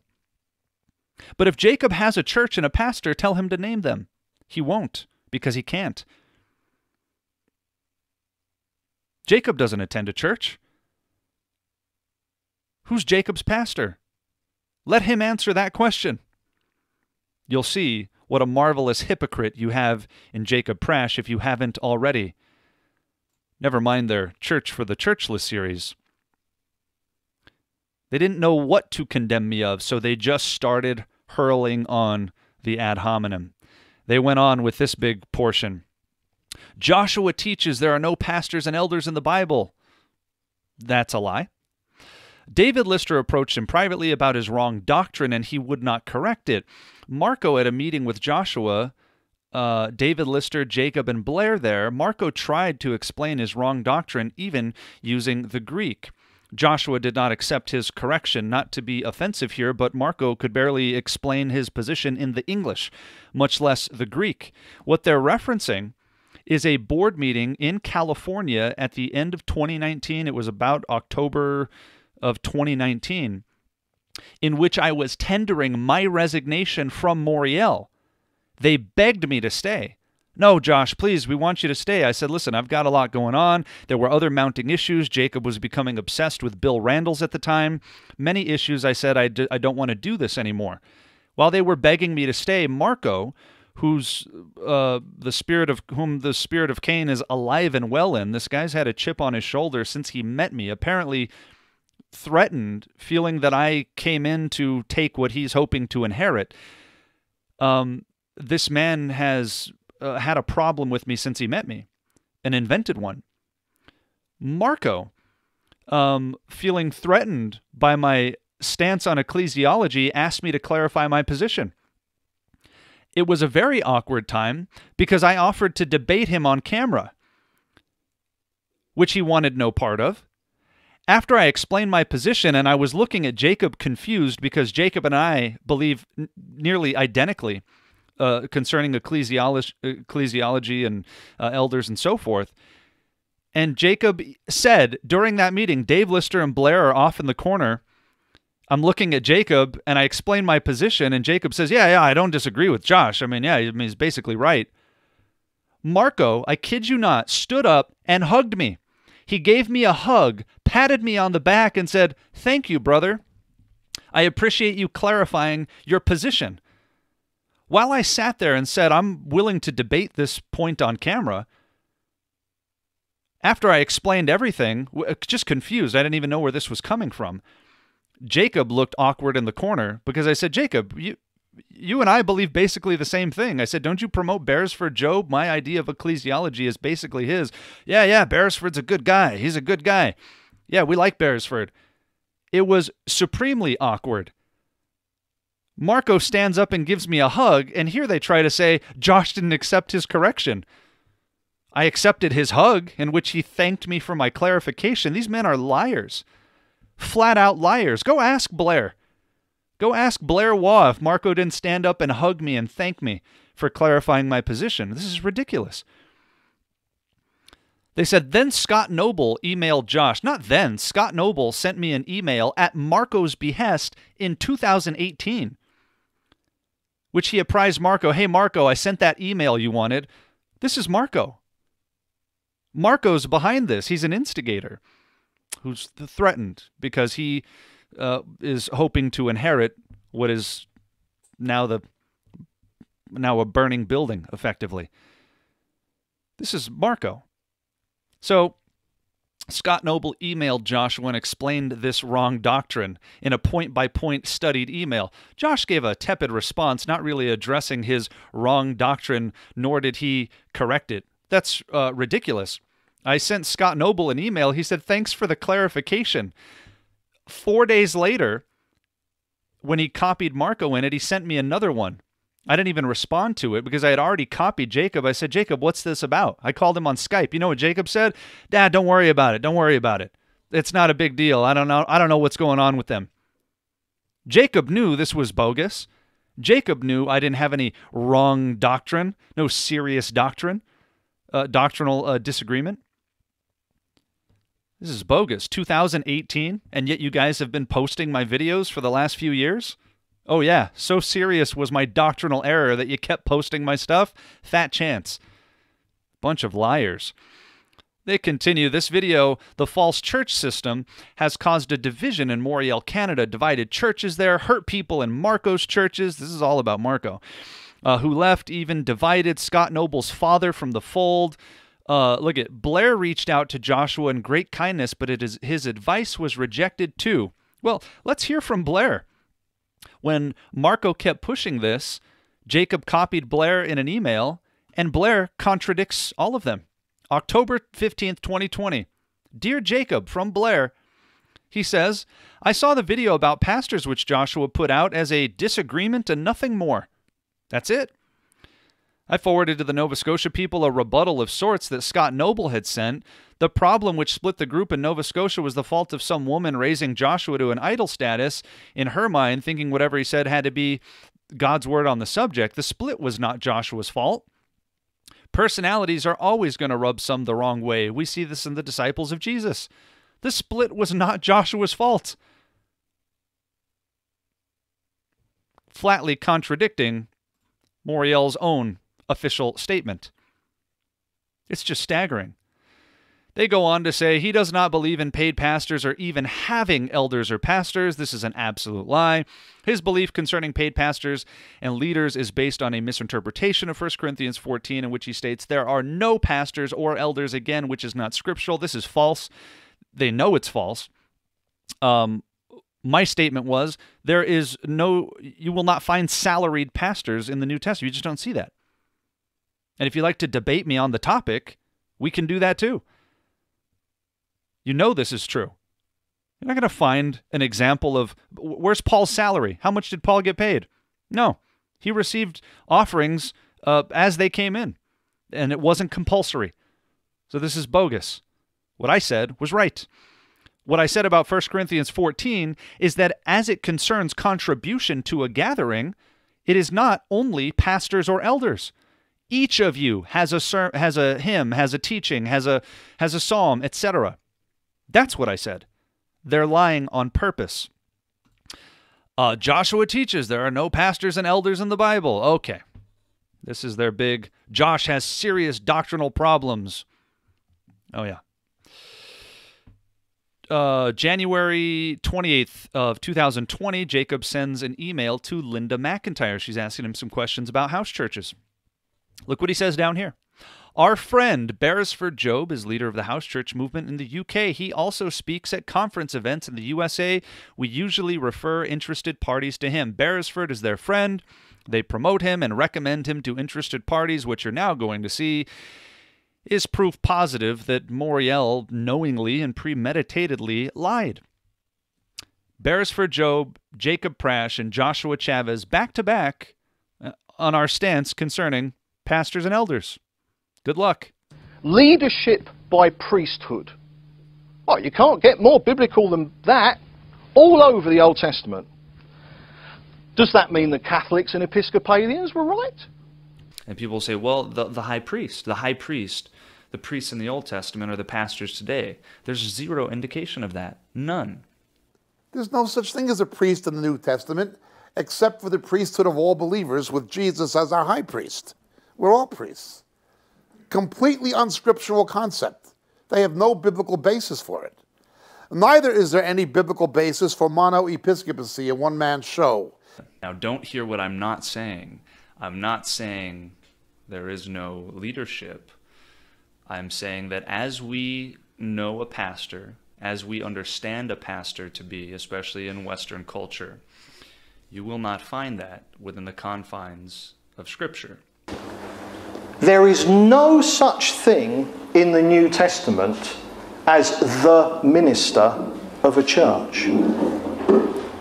There is no such thing in the New Testament as the idea of one man brought in from the outside, the expert to lead a church. Well, monoepiscopacy came from such a person, the one man show, the one man pastor. The New Testament never, ever puts it all on one man. They resembled nothing of a pastor as we call it today. A pastor today is the sole leader, teacher, CEO of the corporation, funeral director, evangelist, all in one. The idea of the church being led by the minister or the pastor or the priest, doesn't matter what flavour, same deception. That concept is not only completely alien to the New Testament, it is completely antithetical to what the New Testament teaches. It is the exact opposite. If you're in a church with a one man show, with the senior pastor is autocratic, at best, you have an unscriptural model of ecclesiastical polity. At worst, you have a formula for heavy shepherding. Notice what it says and what it does not say. It said that they appointed, the apostles, appointed elders, plural, in every church. Why does it not say anything about a senior pastor or a head elder or the main guy? Everywhere the apostles went in the book of Acts and they planted churches, they ordained elders. They didn't appoint a pastor. Every time you see the word bishop or episkopos, it is in the plural. Every time you see the word presbyteros or elder, it is in the plural. The Lord must appoint the leadership. And leadership is plural. you just heard back to back statements from all three of us at certain points stating nearly verbatim the exact same thing. The differences were minuscule at best. And they're trying to spin this into I have serious doctrinal problems. This is an outright lie. This is ridiculous. It is their attempt at damage control and spin doctoring to try to conjure up some reason why they had to have a problem with me first after I rebuked them on August 3rd, 2021. There was never any serious disagreement about anything. This is a lie. And as you can see, if I have serious doctrinal problems, then so does Jacob Prasch himself. They say in appreciation for the friendship Jacob Prasch had with Joshua, Jacob stood with him loyally. So, what are they saying? Jacob believed Josh had serious doctrinal problems but ignored that, ignored that for personal loyalty. You're only condemning yourself. They don't think these things through. It's irrational. It is the pattern of Saul. It's desperate. It's thrown together like most of what they do. Paying a public price for doing so and placing himself uh, not a not as big a public price as I've paid for standing next to him. Um, placing himself in opposition to his own board, in opposition to Marco, jealous, envious Marco, who asked me to teach him how to make videos so he could get more views. That's what Marco the hireling has his mindset on. And when I didn't uh, talk to him about that, what a strange request, he got upset. Jacob tried desperately to be an older brother to Joshua and tried to help him. Jacob has sadly failed. The Word of God says that Joshua Chavez cannot be in ministry.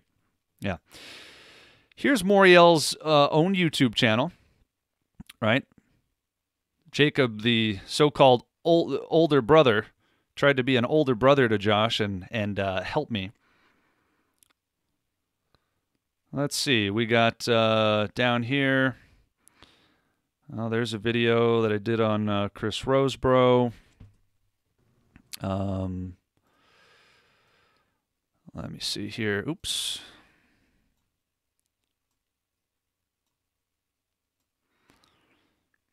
There's um video I did on uh, Rick Warren there. There's my video on the Catholic Church. There's our interview about um, the first seal. There's one on Justin Peters. There's a spiritual abuse one. Uh, Jacob and Moriel have been all too happy uh, to promote me. But remember, I said um, that meeting where Marco ambushed me with 20 questions. Even Jacob was sitting awkwardly in, in the corner. And then he stood up and hugged me, thanking me for my clarification. Thank you, brother. As he stabbed me in the back uh, later. They're all liars. That was in, uh, I think, October of 2019. Here's Jacob about three months later three months after my supposed bad doctrine was confronted. Here's what Jacob had to say about me three months later. The growth of his own ministry, uh, Servus Christus, has caused Joshua to be overloaded. But early in the new year, Joshua will be taking over his own work on a full time basis and laying down his work with Moriel, for which we are extremely grateful. The tremendous growth that we've had this year was to a large degree, although God's hand and God's blessing, the efforts of Joshua, and we cannot begin to repay him. He will, of course, be still associated with Moriel. He'll still be working in tandem with us. As you can see, they are all rabid liars. Never was there a serious doctrinal disagreement. Uh, they say, now, hopefully, you can understand why the board didn't like Josh for his bad doctrine. No, Marco didn't like Josh because he's uh, jealous. Jacob teaches nearly the same thing I do, but they try to accuse me of, of being a Quaker. But Beresford Job is your friend and someone you recommend? As you can see, this is calculated. It is premeditated. It is all damage control and public relations. It is a combination of the pattern of Saul and the signatures of Satan. When you see ad hominem attack, when you see somebody going after the individual in order to circumvent what they're saying, in order to dodge and evade the issues, that is a person who is speaking of the devil. They are speaking from the devil. Jacob Prasch admitting the devil is speaking through him and the entire Moriel board. This is a pattern in Jacob's life. Recently, uh, journalist and author Jackie Alnor uh, wrote a uh, five part uh, article about her time with Moriel, uh, having known Jacob since at least the 90s. Here's Moriel's own website. They were promoting her book, Fleecing Christianity. Jackie Alnor is known worldwide for tireless research and well documented facts which shed light on the sometimes murky depths of cult religions. Okay, they've promoted her for a while. She wrote this series of articles at the Christian Sentinel, which um, I don't know if she operates the website or if she's just an author there. In any event, she's associated with the Christian Sentinel. You can go read her series there, Her Memories with Moriel. And she details that experience. Jacob Prasch responds to Jackie Alnor uh, as the low blow artist that he is, attacking her person in the most despicable manner possible. Here's what Jacob says. It was no secret that there were marital issues with Bill and Jackie, her late husband. Immediately starts attacking her marriage. This is what he does with everybody. He says, without much success, um, we tried to support her ministry. We purchased a load of her books that our publisher couldn't sell, and we couldn't either. This is a tactic of Jacob. He tries to uh, belittle the other people, show himself to be so much better, and it's always about how much they can't sell or how many numbers they don't have. But it was clear that her husband no longer considered her to be his helpmate in ministry. She had a feministic streak of the kind normally associated with what most Christians regard as a Jezebel spirit, often found in women with bad paternal figures in their pre Christian youth. Disgustingly attacking her childhood, at least implicitly. This is filthy behavior. Remember, I don't have it here now, but I'll uh, try to superimpose it if I can remember correctly. His statements toward Jan Markell that we saw in the previous video. He said um, something like, um, that Jan Markell doesn't like men because, uh, due to a traumatic childhood of some description, which is why she never married, he said. This is absolutely disgusting. Trying to imply that Jackie Alnor had a bad father, right? Without, uh, he continues, things plainly were not in God's order. But the marital situation was none of my business, and I only reluctantly mention it now in reacting to the hatchet job. This isn't reluctance, this is calculated. Arguably, this is the main thing Jacob wanted to say and built some other fluff around it. This is a gleeful endeavor for Jacob. I only reluctantly mention it. What is this has nothing to do with anything. This is the character, the black character of Jacob Prasch. I only reluctantly mention it uh, now in reacting to the hatchet job Jackie Alnor has done to her husband's legacy in her embittered assault on Moriel and myself. A Christian psychiatrist would likely conclude that she associated a stronger male figure like Bill with an abusive father and associates other men not pandering to her with Bill. You know what a Christian psychiatrist would likely characterize Jacob Prasch's behavior as? Psychopathic, if not demonic. This is disgusting. It's about as disgusting as it gets. Suggesting she had an abusive father?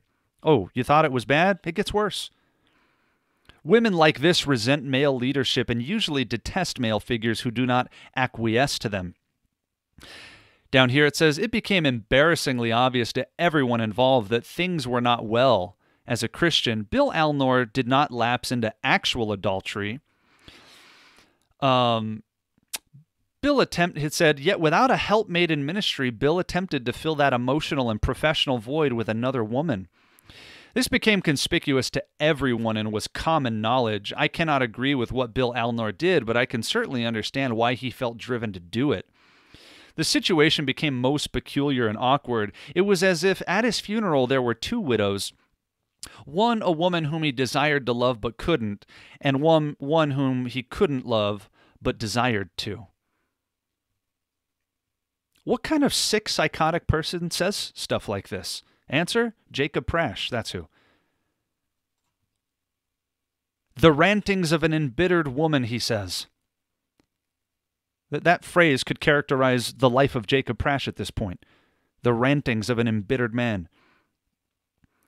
She says, uh, he continues, and little more. I could almost not believe the way she spoke, not simply about myself, but about her late husband, Bill, publicly disrespecting his memory as she has, while he's over here suggesting he had some emotional affair and there were two widows at his funeral. This man is sick. She says um, she did so in a pursuit of an embittered, an embittered vendetta. Again, Jacob's life story. That's an epitaph right there for him. Embittered vendetta, uh, embittered vendetta. Excuse me. Is something most saved Christians would call low. To drag her deceased husband out of the grave and in her embittered spirit publicly dishonor him posthumously in pursuit of the same ends is something most saved Christians would find even lower. Such shameful behavior is indeed defiling a root of bitterness. I don't know if Moriel and Jacob could be more defiled or more bitter or more disgusting at this point. You're watching the workings of a madman and a so called board that not only stands by this, they actively promote it all talking about her dead husband, this is all to retaliate. This is pure and unadulterated vengeance of the kind typically associated with psychopaths who do not have empathy at all. A proud man, a reprobate, a corrupted mind.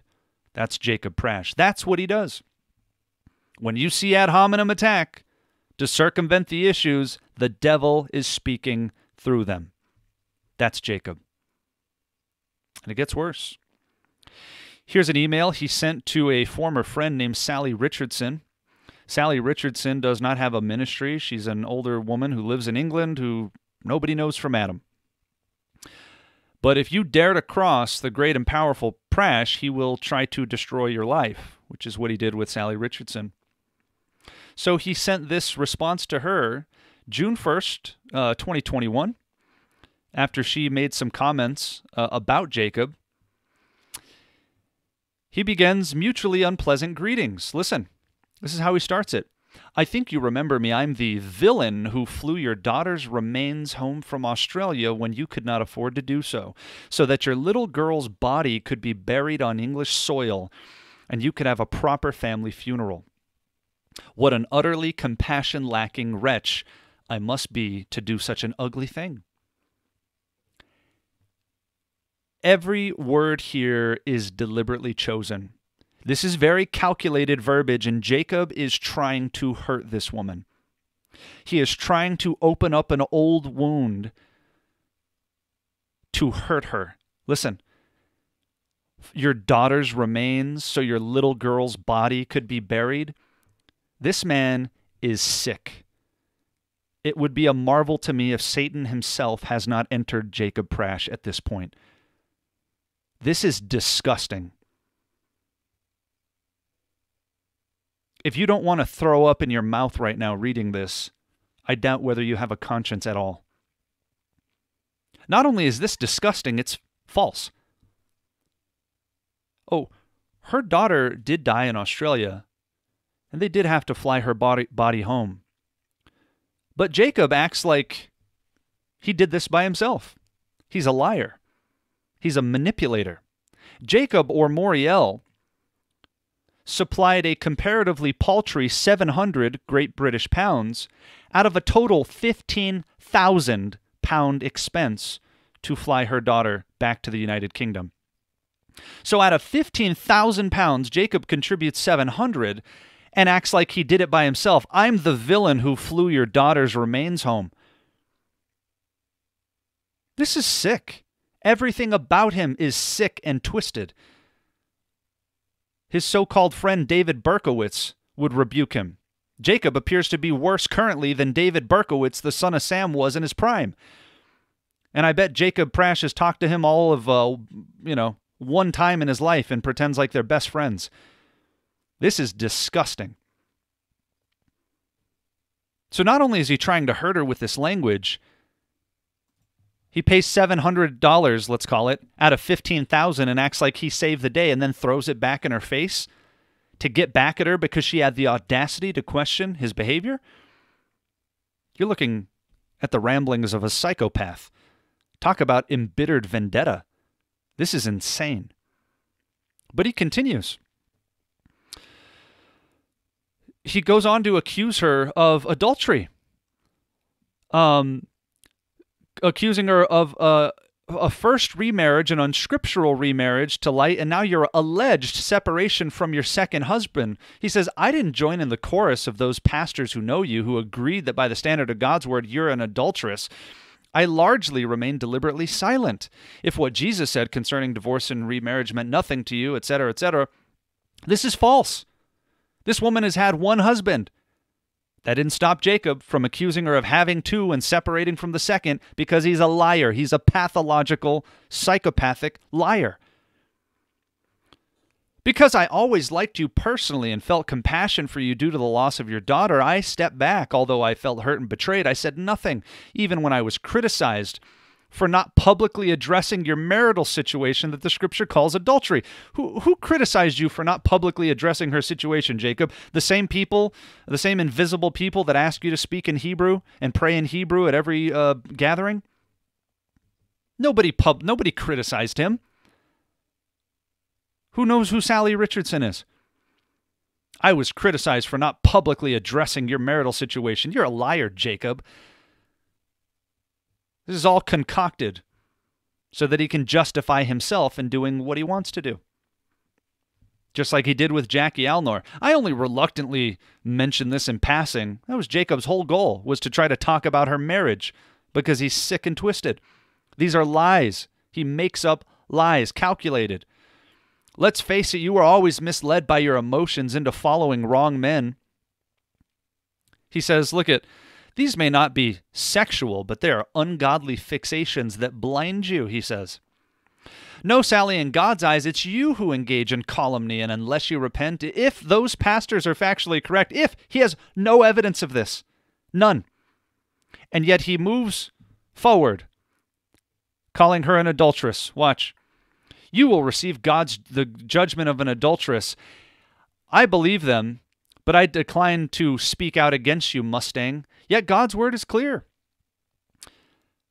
He continues here. Listen. Listen to the threats of this psycho. You have now made a grave error, Sally. For the sake of peace, I tried to ignore you, hoping you would do the same. Now you've been manipulated by a wicked woman into publicly attacking me. I wish you had not. I tried to avoid conflict with you, but now you have sought conflict with me. So be it. This will now have repercussions that I would have wished to avoid, Sally. The Lord will judge, and against my wishes, you force us to respond to any who contact us. Oh, I didn't want to tell people about what I don't even have confirmation of, but you forced me. You forced me to take vengeance because you dared to say anything about me. What a sick, twisted man. I didn't want this, Sally. I truly did not. For old time's sake, I left you alone, preferring to remember you as Mustang Sally, rather than as an unscripturally divorced and remarried adulterous daughter of darkness. I profoundly wish you had done the same. I really do. This was so unnecessary. Frankly, it was also very foolish of you to allow yourself to be manipulated and dragged into a conflict like this. I wish you had first contacted me, Sally. I would not have turned you away. As disappointed as I am, I fear for you, Sally, and you remain in my prayers, for you do not know what you do. Your former friend and brother, who tried to show you compassion and the love in the love of Jesus whenever I could. Do you see the maniacal threats? There's now going to be repercu- re- repercussions, Sally. Oh, you should have never crossed me. I wouldn't have said anything, but now, now I'm going to say. I, now, if what they're saying is true, you force me to respond to people who contact me about you. These things are false. Jacob is a calculated liar. He invents things. I've never seen anything quite like this. Never. I expect better from Benny Hinn and Joel Osteen. Leave it to Jacob Prasch to stoop this low. This is what he does. He invents lies about those who come against him. When you see this, the devil is speaking through them. He is a false witness and a habitual one at that. Now, as we've already seen, for the better part of 30 years, Jacob Prasch has been impersonating a Jew, being Jewish in general. But it seems he wanted to make his impersonation more specific and began doing some kind of impersonation of this Jew, Jerry Springer. Jacob Prasch has more in common with Jerry Springer than Jesus Christ, and I suspect Jerry Springer would be disgusted, utterly repulsed by the actions and behaviors of Jacob Prasch. This is Jacob. It's little wonder that he would try to do the same with me. This man is desperate. Listen. It all becomes an exercise in public relations, image manipulation. They're more afraid of what people may think than what God already knows. That's right. So, as with Sally Richardson, it was an exercise in image manipulation. I will destroy your character at all cost so that people won't want to listen to what you have to say. This is the spirit of those who persecuted the prophets. It's nothing different. He lied about Jackie Alnor. He lied about Sally Richardson. He lied about Jan Markell. He's lied about everybody it's little wonder that he would try to do the same with me. It's what he resorts to. The man has no conscience. And yet Jacob Prasch condemns himself and refutes himself as a false witness. The false allegations that he's tried to level against me in order to distract from irrefutable actual proof and evidence against him doesn't have a leg to stand on. Not even from Jacob's own mouth. Here's what he said to his friend Dean over at Dean Gibson's YouTube channel, September 11th, 2020. After these uh, false allegations emerged from an equally uh, maniacal man named Jordan Hall, whom Jacob encouraged me to sue, by the way. He says, Blessings, Hall is a wicked, demonized liar, says Jacob. He has a very ugly history, including one episode where a troubled 15 year old boy committed suicide. Jacob is a uh, Joshua is a friend with a ministry which uh, with which we have at times cooperated, but he is not a member of the Moriel team, and we cannot speak for him. However, we do know that Joshua is being maliciously lied against by the proponents of Doreen Virtue. And while I cannot speak for him, I can and will defend him from outrageous charges made by vicious religious delinquents, of which he is 100% not guilty. Jacob Prasch knows he's a liar and condemns himself now as a religious delinquent. Knowing for a fact I am 100% not guilty of the very charges he has tried to regurgitate against me in his own desperation. He continues here April of this year um, about Marco. When the question was asked, Marco firmly stated that you have done nothing morally improper. Well, how about it? Even Marco, even Marco the hireling, knows these are lies, and yet he stands idly by while Jacob propagates them. These men are sick.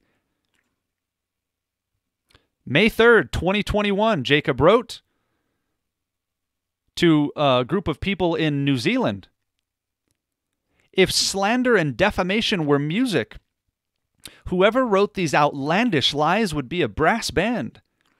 Joshua Chavez is not a Moriel team member. He is a friend, however, and he's one of the ministries always being attacked by those who hate me, John Haller being another. We do sometimes post his well produced videos. He has his own channel called Servus Christi that is friendly to Moriel. There is currently one of his videos on Moriel TV and RTN TV entitled Spiritual Abuse, which I strongly suggest you watch. He continues These things concerning Joshua Chavez are absolutely not true. And he concludes in any event, it has nothing to do with Moriel or myself. I and the Moriel board, however, are aware of these allegations. So do the believers in his house church. Oh, I, I thought I had no fellowship, Jacob. So were you lying then or are you lying now? Jacob can't get his own lies in order. So much for that one, huh, Jacob? Staggering. Please watch the current video on Moriel TV or on his Servus Christi YouTube channel or on RTN TV. I think it will explain why he is so hated. Spiritual abuse. It's a current video. Regards to Diane in Jesus Jacob. The video he's referring to here uh, was still on Moriel as of a few days ago. They've only recently deleted it. Gospel gangsters and Bible bullies. Jacob was eager to have this posted on Moriel TV, and it's been up there uh, for months for months. Jacob said, Please go watch it. It will explain the genesis of these malicious, false allegations for which he himself urged me to sue Jordan Hall over. It's now gone from Moriel's channel. You can watch it on the Servus Christi channel, the Ministry Mafia and Theological Stru- uh, Thugs, which I also strongly encourage you to watch. This is how desperate Jacob has become. He says, February 25th, 2021, for Justin Peters. Joshua Chavez did nothing legally or morally improper. The allegations of human trafficking by that malicious, if not demonized liar, J.D. Hall, are patently and demonstrably absurd. Your colleague J.D. Hall is already engaged in predatory behavior toward a mentally disturbed victim, and a 15 year old kid is in his grave. Instead of responding to the video indictment of you by Joshua Chavez because you are factually unable to do so, you take the ad hominem angle and maliciously fabricate a factually bogus, concocted allegation about him.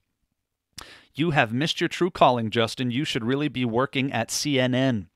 It is rather both children of Chris Rosebrough who are guilty of what you falsely ascribe to Joshua Chavez. Apparently, Jacob now condemning himself as one who should have been working at CNN.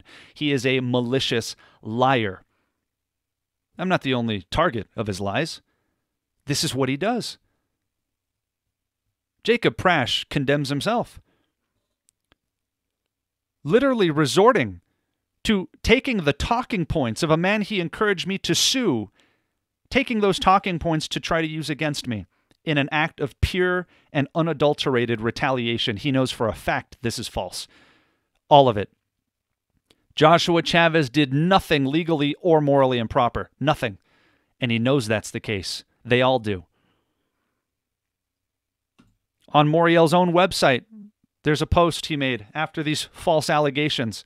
He posted this about Jordan Hall and a Braxton Caner incident. In memory of Braxton Caner, 2020 painfully marks the sixth Christmas that Braxton Caner will not be with his family, who will remain haunted by an ugly tragedy that never, ever should have happened. Have a very Merry Christmas, J.D. Hall.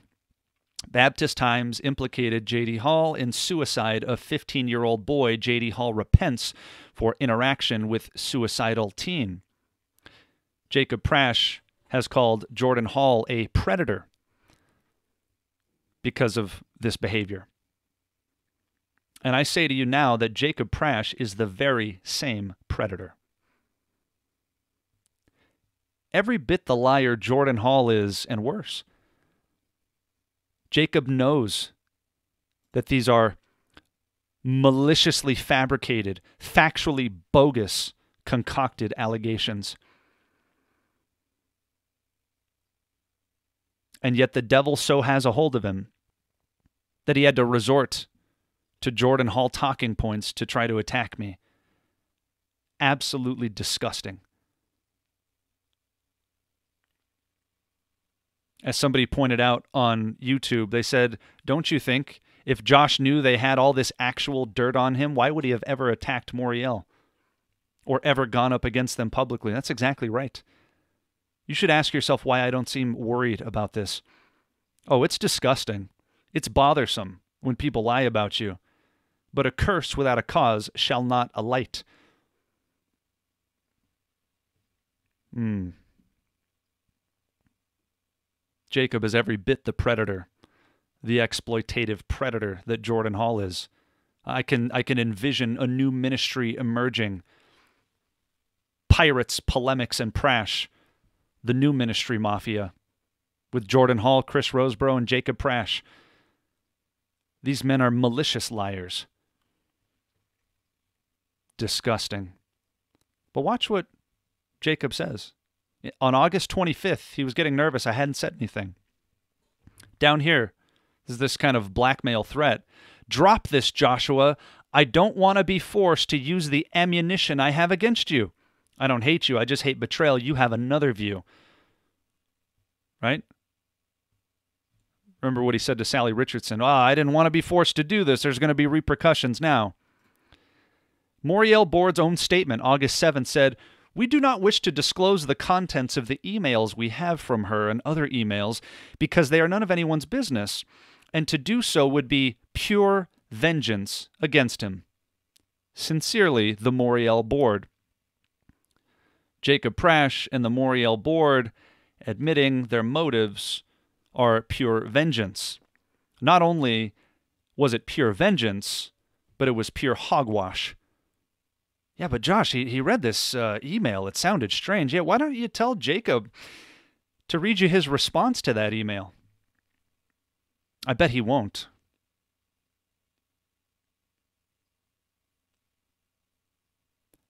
This is absolutely atrocious. Again, go watch the video Spiritual Abuse, the Ministry Mafia, and Theological Thugs, were the genesis of this bogus defamation was detailed. Jacob is a liar, a habitual and pathological liar, a premeditated false witness whose conscience has apparently been completely eradicated.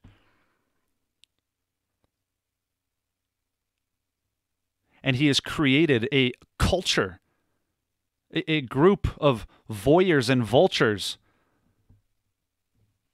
who appear to have appetites similar to those of the Jerry Springer audience, who will listen to claims without any evidence whatsoever, but will ignore irrefutable evidence against their fallen master, Jacob Prasch, who himself acknowledges that he ought to be working at CNN and worse. This is what he does. He's a liar. He has been a liar. He didn't stop there.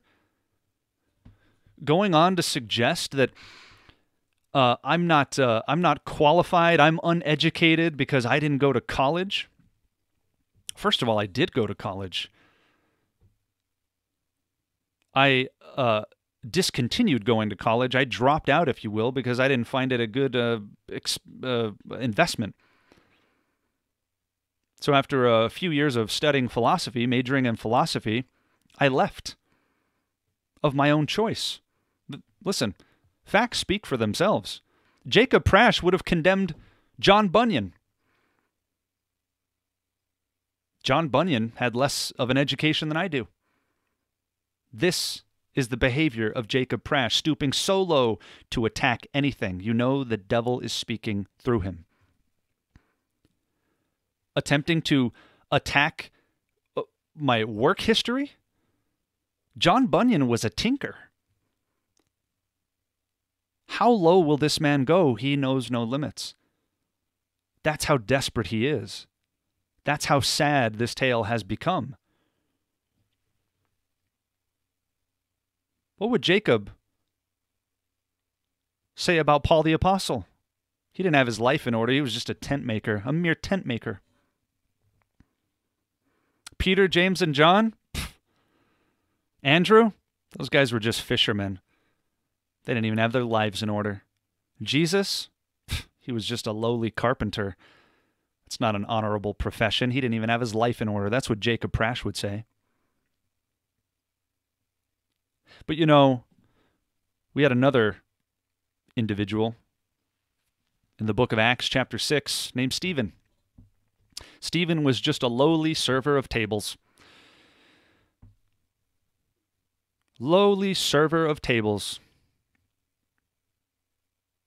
but mighty in power and works in the church.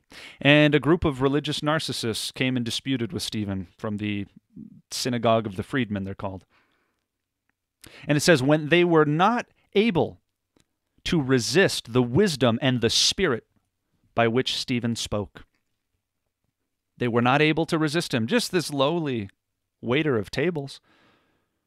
They couldn't contend with Stephen. Why? Because it wasn't Stephen. What does Jesus say in the Gospel of Luke? The Lord Himself will give you a, a, mouth of wisdom, which all of your adversaries will not be able to gainsay or resist. They couldn't stand that they couldn't refute this lowly waiter of tables named Stephen. So what did they do?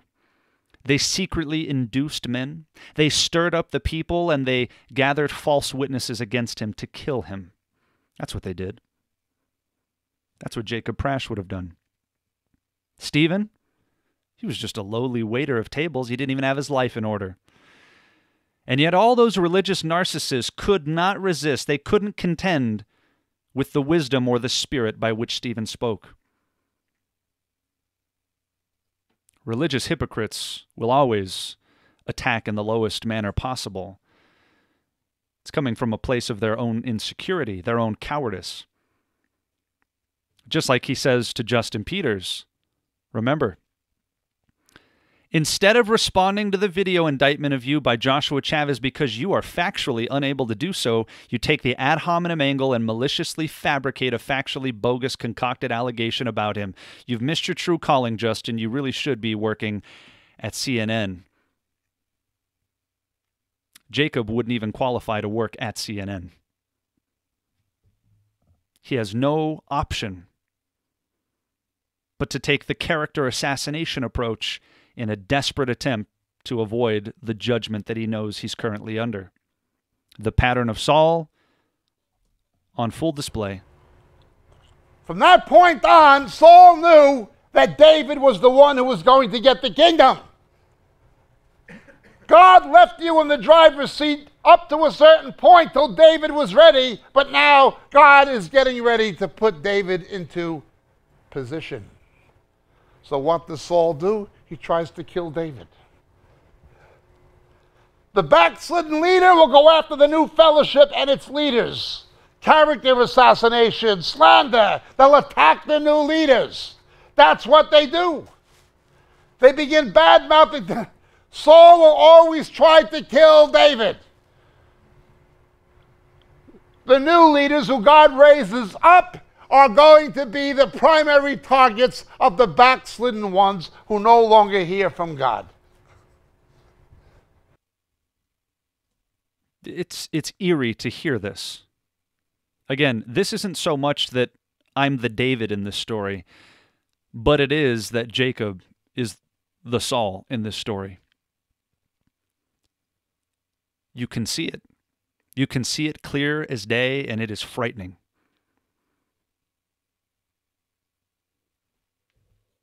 Exactly what Saul did to David is exactly what he's doing to me. Jacob, like Saul, obsessed with numbers. If anybody's listened to Jacob, especially in the last year or two, you have heard him ad nauseum talk about Moriel's growth, Moriel's growth, Moriel's growth. Moriel's growing like gangbusters. Moriel has quadrupled, he says here. He compares himself to other people. Menelaws and 24 GV 24 7 doesn't even have 1% of the viewership of Moriel TV. Believers in Grace Ministry of Bill Randles has diminished. Those people aren't coming back. God's hand has been removed even prior to COVID. The itinerary ministry of Bill Randles is an author whose books won't sell. Remember we tried to do the same thing to Jackie Alnor? Nobody even wants to buy their books. I wonder how many people are, you know, buying Jacob Prasch's books was already plummeting. I take no delight in witnessing the decline of such ministries. That's a lie. He's just writing this with a smile. None at all. On the contrary, there was a time I only wished them well, and I can only say to myself that I and Moriel should take heed, lest the Lord likewise removes his hand from us. They absolutely should have taken heed. But you have seen Jacob's obsession with numbers. We're growing, we're growing, Moriel keeps growing. Listen to Jacob. When you see a leader begin worrying about numbers and about setbacks, placing that as the priority above what the Word of God says, you'll already have a problem. Once you see people pursuing a numbers game, numbers equals power and money. Attendance figures and things like you're going to have a problem. Now it's going. Well, Jacob has become obsessed with numbers, and he's right. They do have a problem, and it is going. In the aftermath of all of this, as long-time supporters, both prayerfully and financially, in every way, have watched this decline in Jacob, people are leaving Moriel in droves. It is plummeting as we speak. Longtime supporter and de facto Hong Kong representative writes a 16-page letter to Moriel on August 16th. At present uh, time, at the present time, I wish to withdraw from public support of the ministry. This is the aftermath of all that you've been seeing. This is just what has been happening, and it will continue to get worse. Remember, Saul was afraid the people uh, were, were scattering from him. So he went and did what he shouldn't do. He lived in rebellion because he was more worried about the people. The pattern of Saul on full display. Listen. I have an ordination credential. It is with a recognized mainstream evangelical organization. It is called Christian Ministerial Fellowship International, CMFI. But it's just a mainstream evangelical organization. I hold credentials with them. Well, Jacob held credentials with them. In the aftermath of all of this, you can see the Council of Elders at CMFI, so called elders John Anglis, Paul Sherbert, Ian Huxham, and another gentleman. Um, they um, they made a statement. There's Paul Sherbert. Just a, a few days after um, I made a statement saying that Moriel's credentials had been revoked by CMFI. Moriel makes this priority announcement saying, for some time they, we've grappled with CMFI being UK based. This is bogus. Uh, geographical issues they chalk it up to have been problematic. Um, they said so because of these geographical issues, Moriel has resigned on good and amicable terms and without acrimony. CMFI then adds to this with their official statement from Paul Sherbert saying, with regard to your resignation, he says, um, uh, to dispel and correct the current rumors and lies. Um, I had made a post saying that their credentials have been revoked. Paul Sherbert continues For the sake of truth, CMFI hereby gives notice that following the discussion, Moriel members have resigned their membership to CMFI. This was all a lie. This email from Paul Sherbert was sent to Amos Farrell, former board member of Moriel Ministries as well, who was also credentialed with CMFI. You can see they say here, as I copied them all in my letter on August 3rd, we have been copied. Um, we're communicating with you over the tsunami of correspondence into which we have been copied concerning folk who are or have been associated with Moriel Ministries. This we have found very distressing. Much of this is internal and some of a very serious nature. They continue down here. It is clear in more recent times that there are serious issues within Moriel which require addressing. Despite its best efforts, CMFI has not has uh, been unable to get to the bottom of these issues, and as there have been CMFI members both within Moriel on both sides of these issues, after careful, prayerful, and uh, consideration, we have taken the very difficult decision to withdraw membership from all CMFI members involved with Moriel in these disputes. As you can see, they both conspired to lie to give Jacob this um, nice, peaceful, amicable exit strategy. Moriel did not resign. Their membership was withdrawn in the wake of all of this legitimate controversy because other CMFI members were getting fed up with Jacob and Moriel and put pressure on Paul Sherbert and CMFI to have them removed from the organization. Everybody can see the writing on the wall. Jacob and Moriel are corrupt and going down.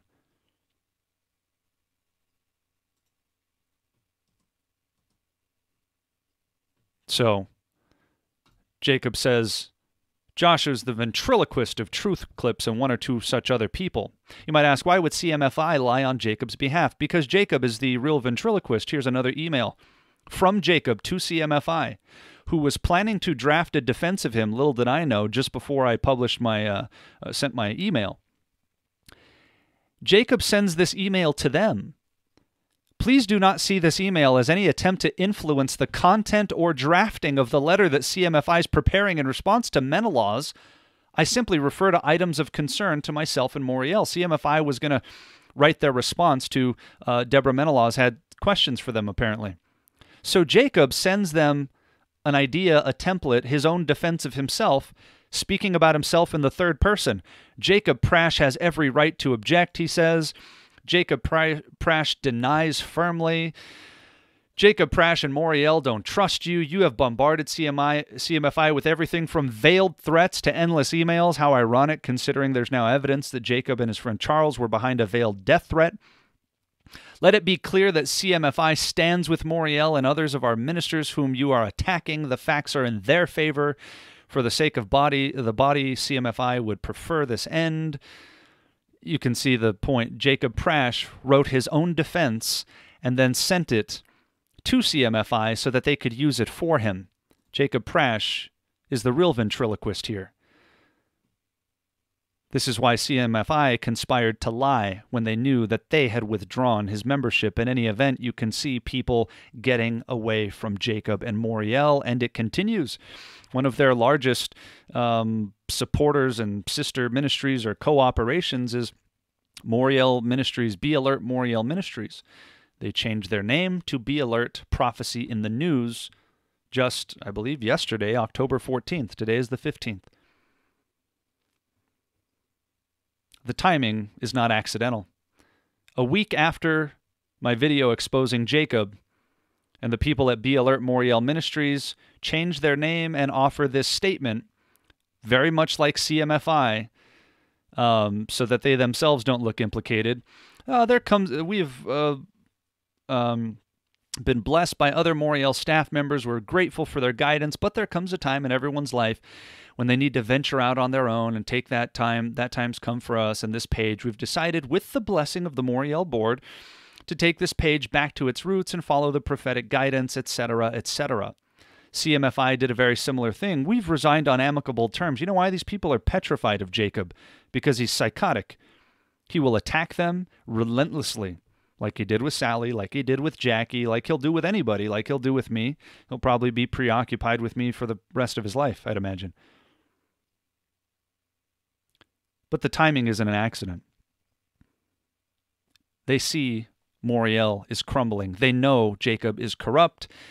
And now they're trying to cover themselves by dissociating from them, having an unofficial relationship with them, so they want to have their cake and eat it too. They're hypocrites. There's Suzanne Baruch over at uh, Moriel Be Alert. They'll never call out Jacob's corruption for reasons of their own, uh, not implicating themselves or not being embarrassed, and also not to incur the wrath of Prasch. Many reasons, but it's obvious people are getting away from Jacob in droves. Here's Social Blade. Social Blade uh, tracks trends and so forth of various YouTube channels. You can see Moriel has decreased in the last week by over 500 subscribers. People are leaving Moriel TV in droves. It is not growing, it is declining, it is plummeting. They went from 36.8 to 36.3 just in a week, and it will continue. People are leaving Moriel. They are getting away from Jacob. They see that he is corrupt. That's Moriel TV. Go unsubscribe immediately if you have not done so already. Even Jacob has something to say about this. Then you want to know why your numbers went from 2,500 to 900 and sink you? the Lord's rejected you. The Lord has indeed rejected Jacob and Moriel. This is, without question, my personal experience, the most tragic and the biggest fall I have ever seen. For somebody that knows so much to be so dark, so base, so evil, with such calculation, it's about as bad as it gets. And there's a lot of people confused. I don't know what to do with this. I've benefited so much from his teaching, so have I. Please read my letter. Well, maybe he'll repent. Even Jacob says, when you see these patterns gain hold and traction, there's no stopping it. Jacob's judgment is the greater. Teachers already held, er, held to a stricter judgment, but to whom much is given, much will be required, and Jacob knows more than most. All judgment is not the same. Remember, Jesus rebuked all the cities in which he had done great works, and he said, If the works that had been done in you had been done in Sodom and Gomorrah, they would have repented in sackcloth and ash long ago. Therefore, it will be worse for you in the day of judgment. Worse for you. Some will be beaten with few stripes, some with many. This corruption is unbelievable. And yet it's undeniable.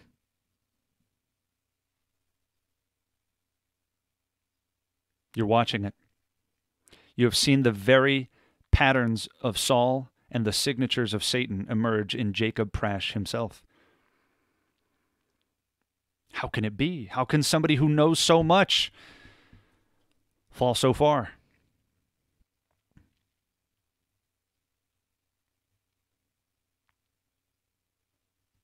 Knowledge isn't the problem. Pride is the problem. But because of all that knowledge, the judgment will indeed be the worse. This is beyond tragic, and yet, this is not the judgment of Joshua. You're watching the judgment of the Lord. He may be using my lips at this particular juncture, but that's it. And I also know that I am not fighting against Jacob Prasch or the so called cult of Moriel. I'm not fighting against flesh and blood. Behind all of this, behind all of this vicious, calculated false witness, the spin doctoring, the character assassination, principalities, powers, the rulers of darkness are behind it. And yet Moriel and Jacob think they're fighting against Josh, and they're wrong as well. Or not, maybe I shouldn't say as well, but they are wrong, because I know I'm not fighting against them. But they're not fighting against me. They are fighting against the Lord. They are fighting against righteousness. They are sinning against mercy. Do you not fear God, man? Do you not even fear God? This is frightening. But they're blinded. They will continue to protest their innocence in the face of irrefutable evidence. As people are leaving in droves, they'll try to spin it as, ah, this is persecution. No, this is not persecution. You are not a martyr. This is God's judgment. And the blindness to it is also a part of God's judgment. He who is rebuked often and hardens his heart will be destroyed suddenly, and that without remedy. Remedy. God forbid. But this is where we are. We're watching the pattern of Saul. And sadly, I believe you're going to continue watching the pattern of Saul. Jacob may be well on his way to Endor, so to speak, if he's not already on his way back.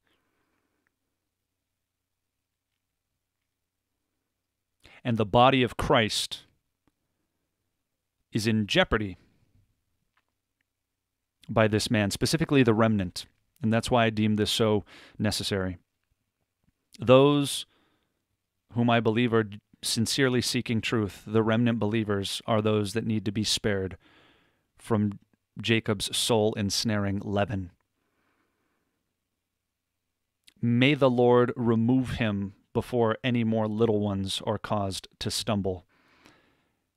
And may we all take serious note of these things and reflect deeply, because this ought to frighten all of us.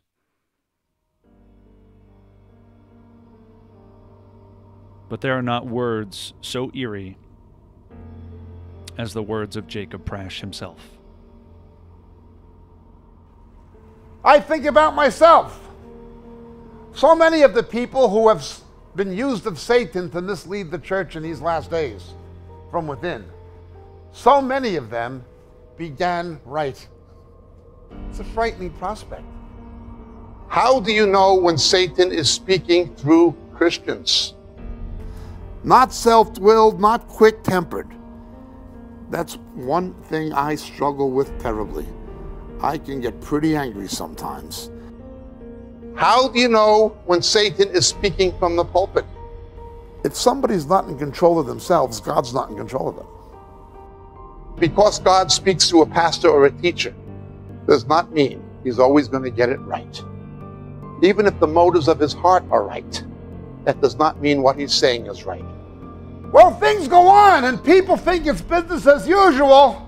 They're not looking at the underlying dynamic of what's really transpiring.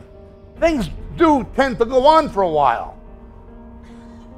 Things are wrong, but people tend to ignore it. Hoping or imagining it's going to get better, but it will not get better. Unless there's a repentance, it never gets better. It can only eventually get worse, but it may take some time. How do you know when Satan is speaking within the body of Christ? Things go on, but then the downward spiral gains momentum. Indeed, how can we be sure in a given instance Satan is not speaking through us? You put on a big religious show with a lot of fanfare. Oh, we're praising the Lord. We're serving the Lord. Now you're in rebellion. I'm only asking the question Are you a leader who should be a leader? Or are you a leader who should get out of leadership?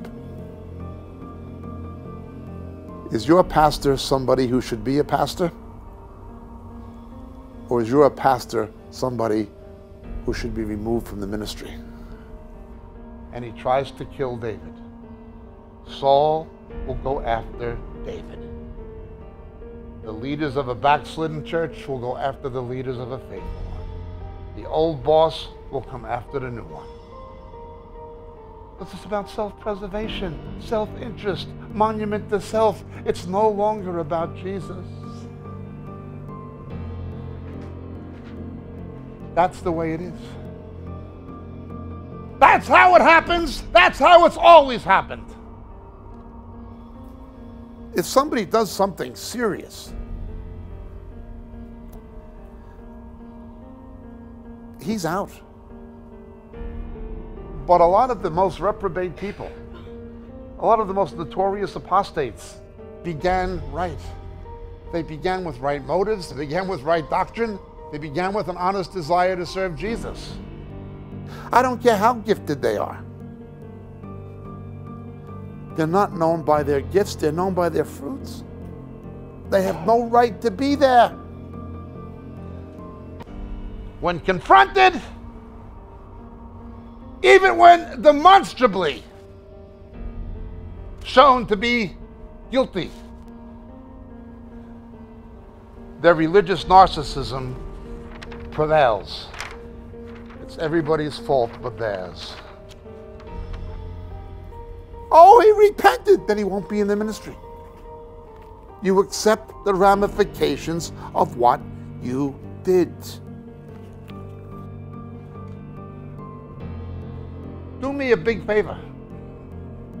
Please do me a favor. Do yourselves a bigger one. If you see this pattern in Jacob Prasch, please come and tell me. but come to me quickly that I can put it right before it's too late. Because once this pattern gains momentum, there's no stopping it. It takes on an inertia of its own. If God forbid I should ever go down morally, do me a favor. Never come listen to me speak, even if I should deceive myself into thinking I should be able to. I should never be able to if I ever did that. May God keep me from that. But the robe gets cut. What would later happen at the cave of En Gedi? David did not kill Saul, even when he had the drop on him. But he cut the robe. Hey, Saul, remember this? Remember what Samuel told you? It's over, big boy. What I say is, if it happened to them, it can happen to us. If it happened to him, it can happen to me. As Paul puts it, let he who stands take heed lest he fall. They will give account to the Lord. It says in James 3:1, "Let few of you be teachers. Teachers will be ju- judged more strictly than the rest." When we appear before Jesus, he's going to hold me more accountable than he holds most of you. He's going to hold me more accountable than he holds most of you.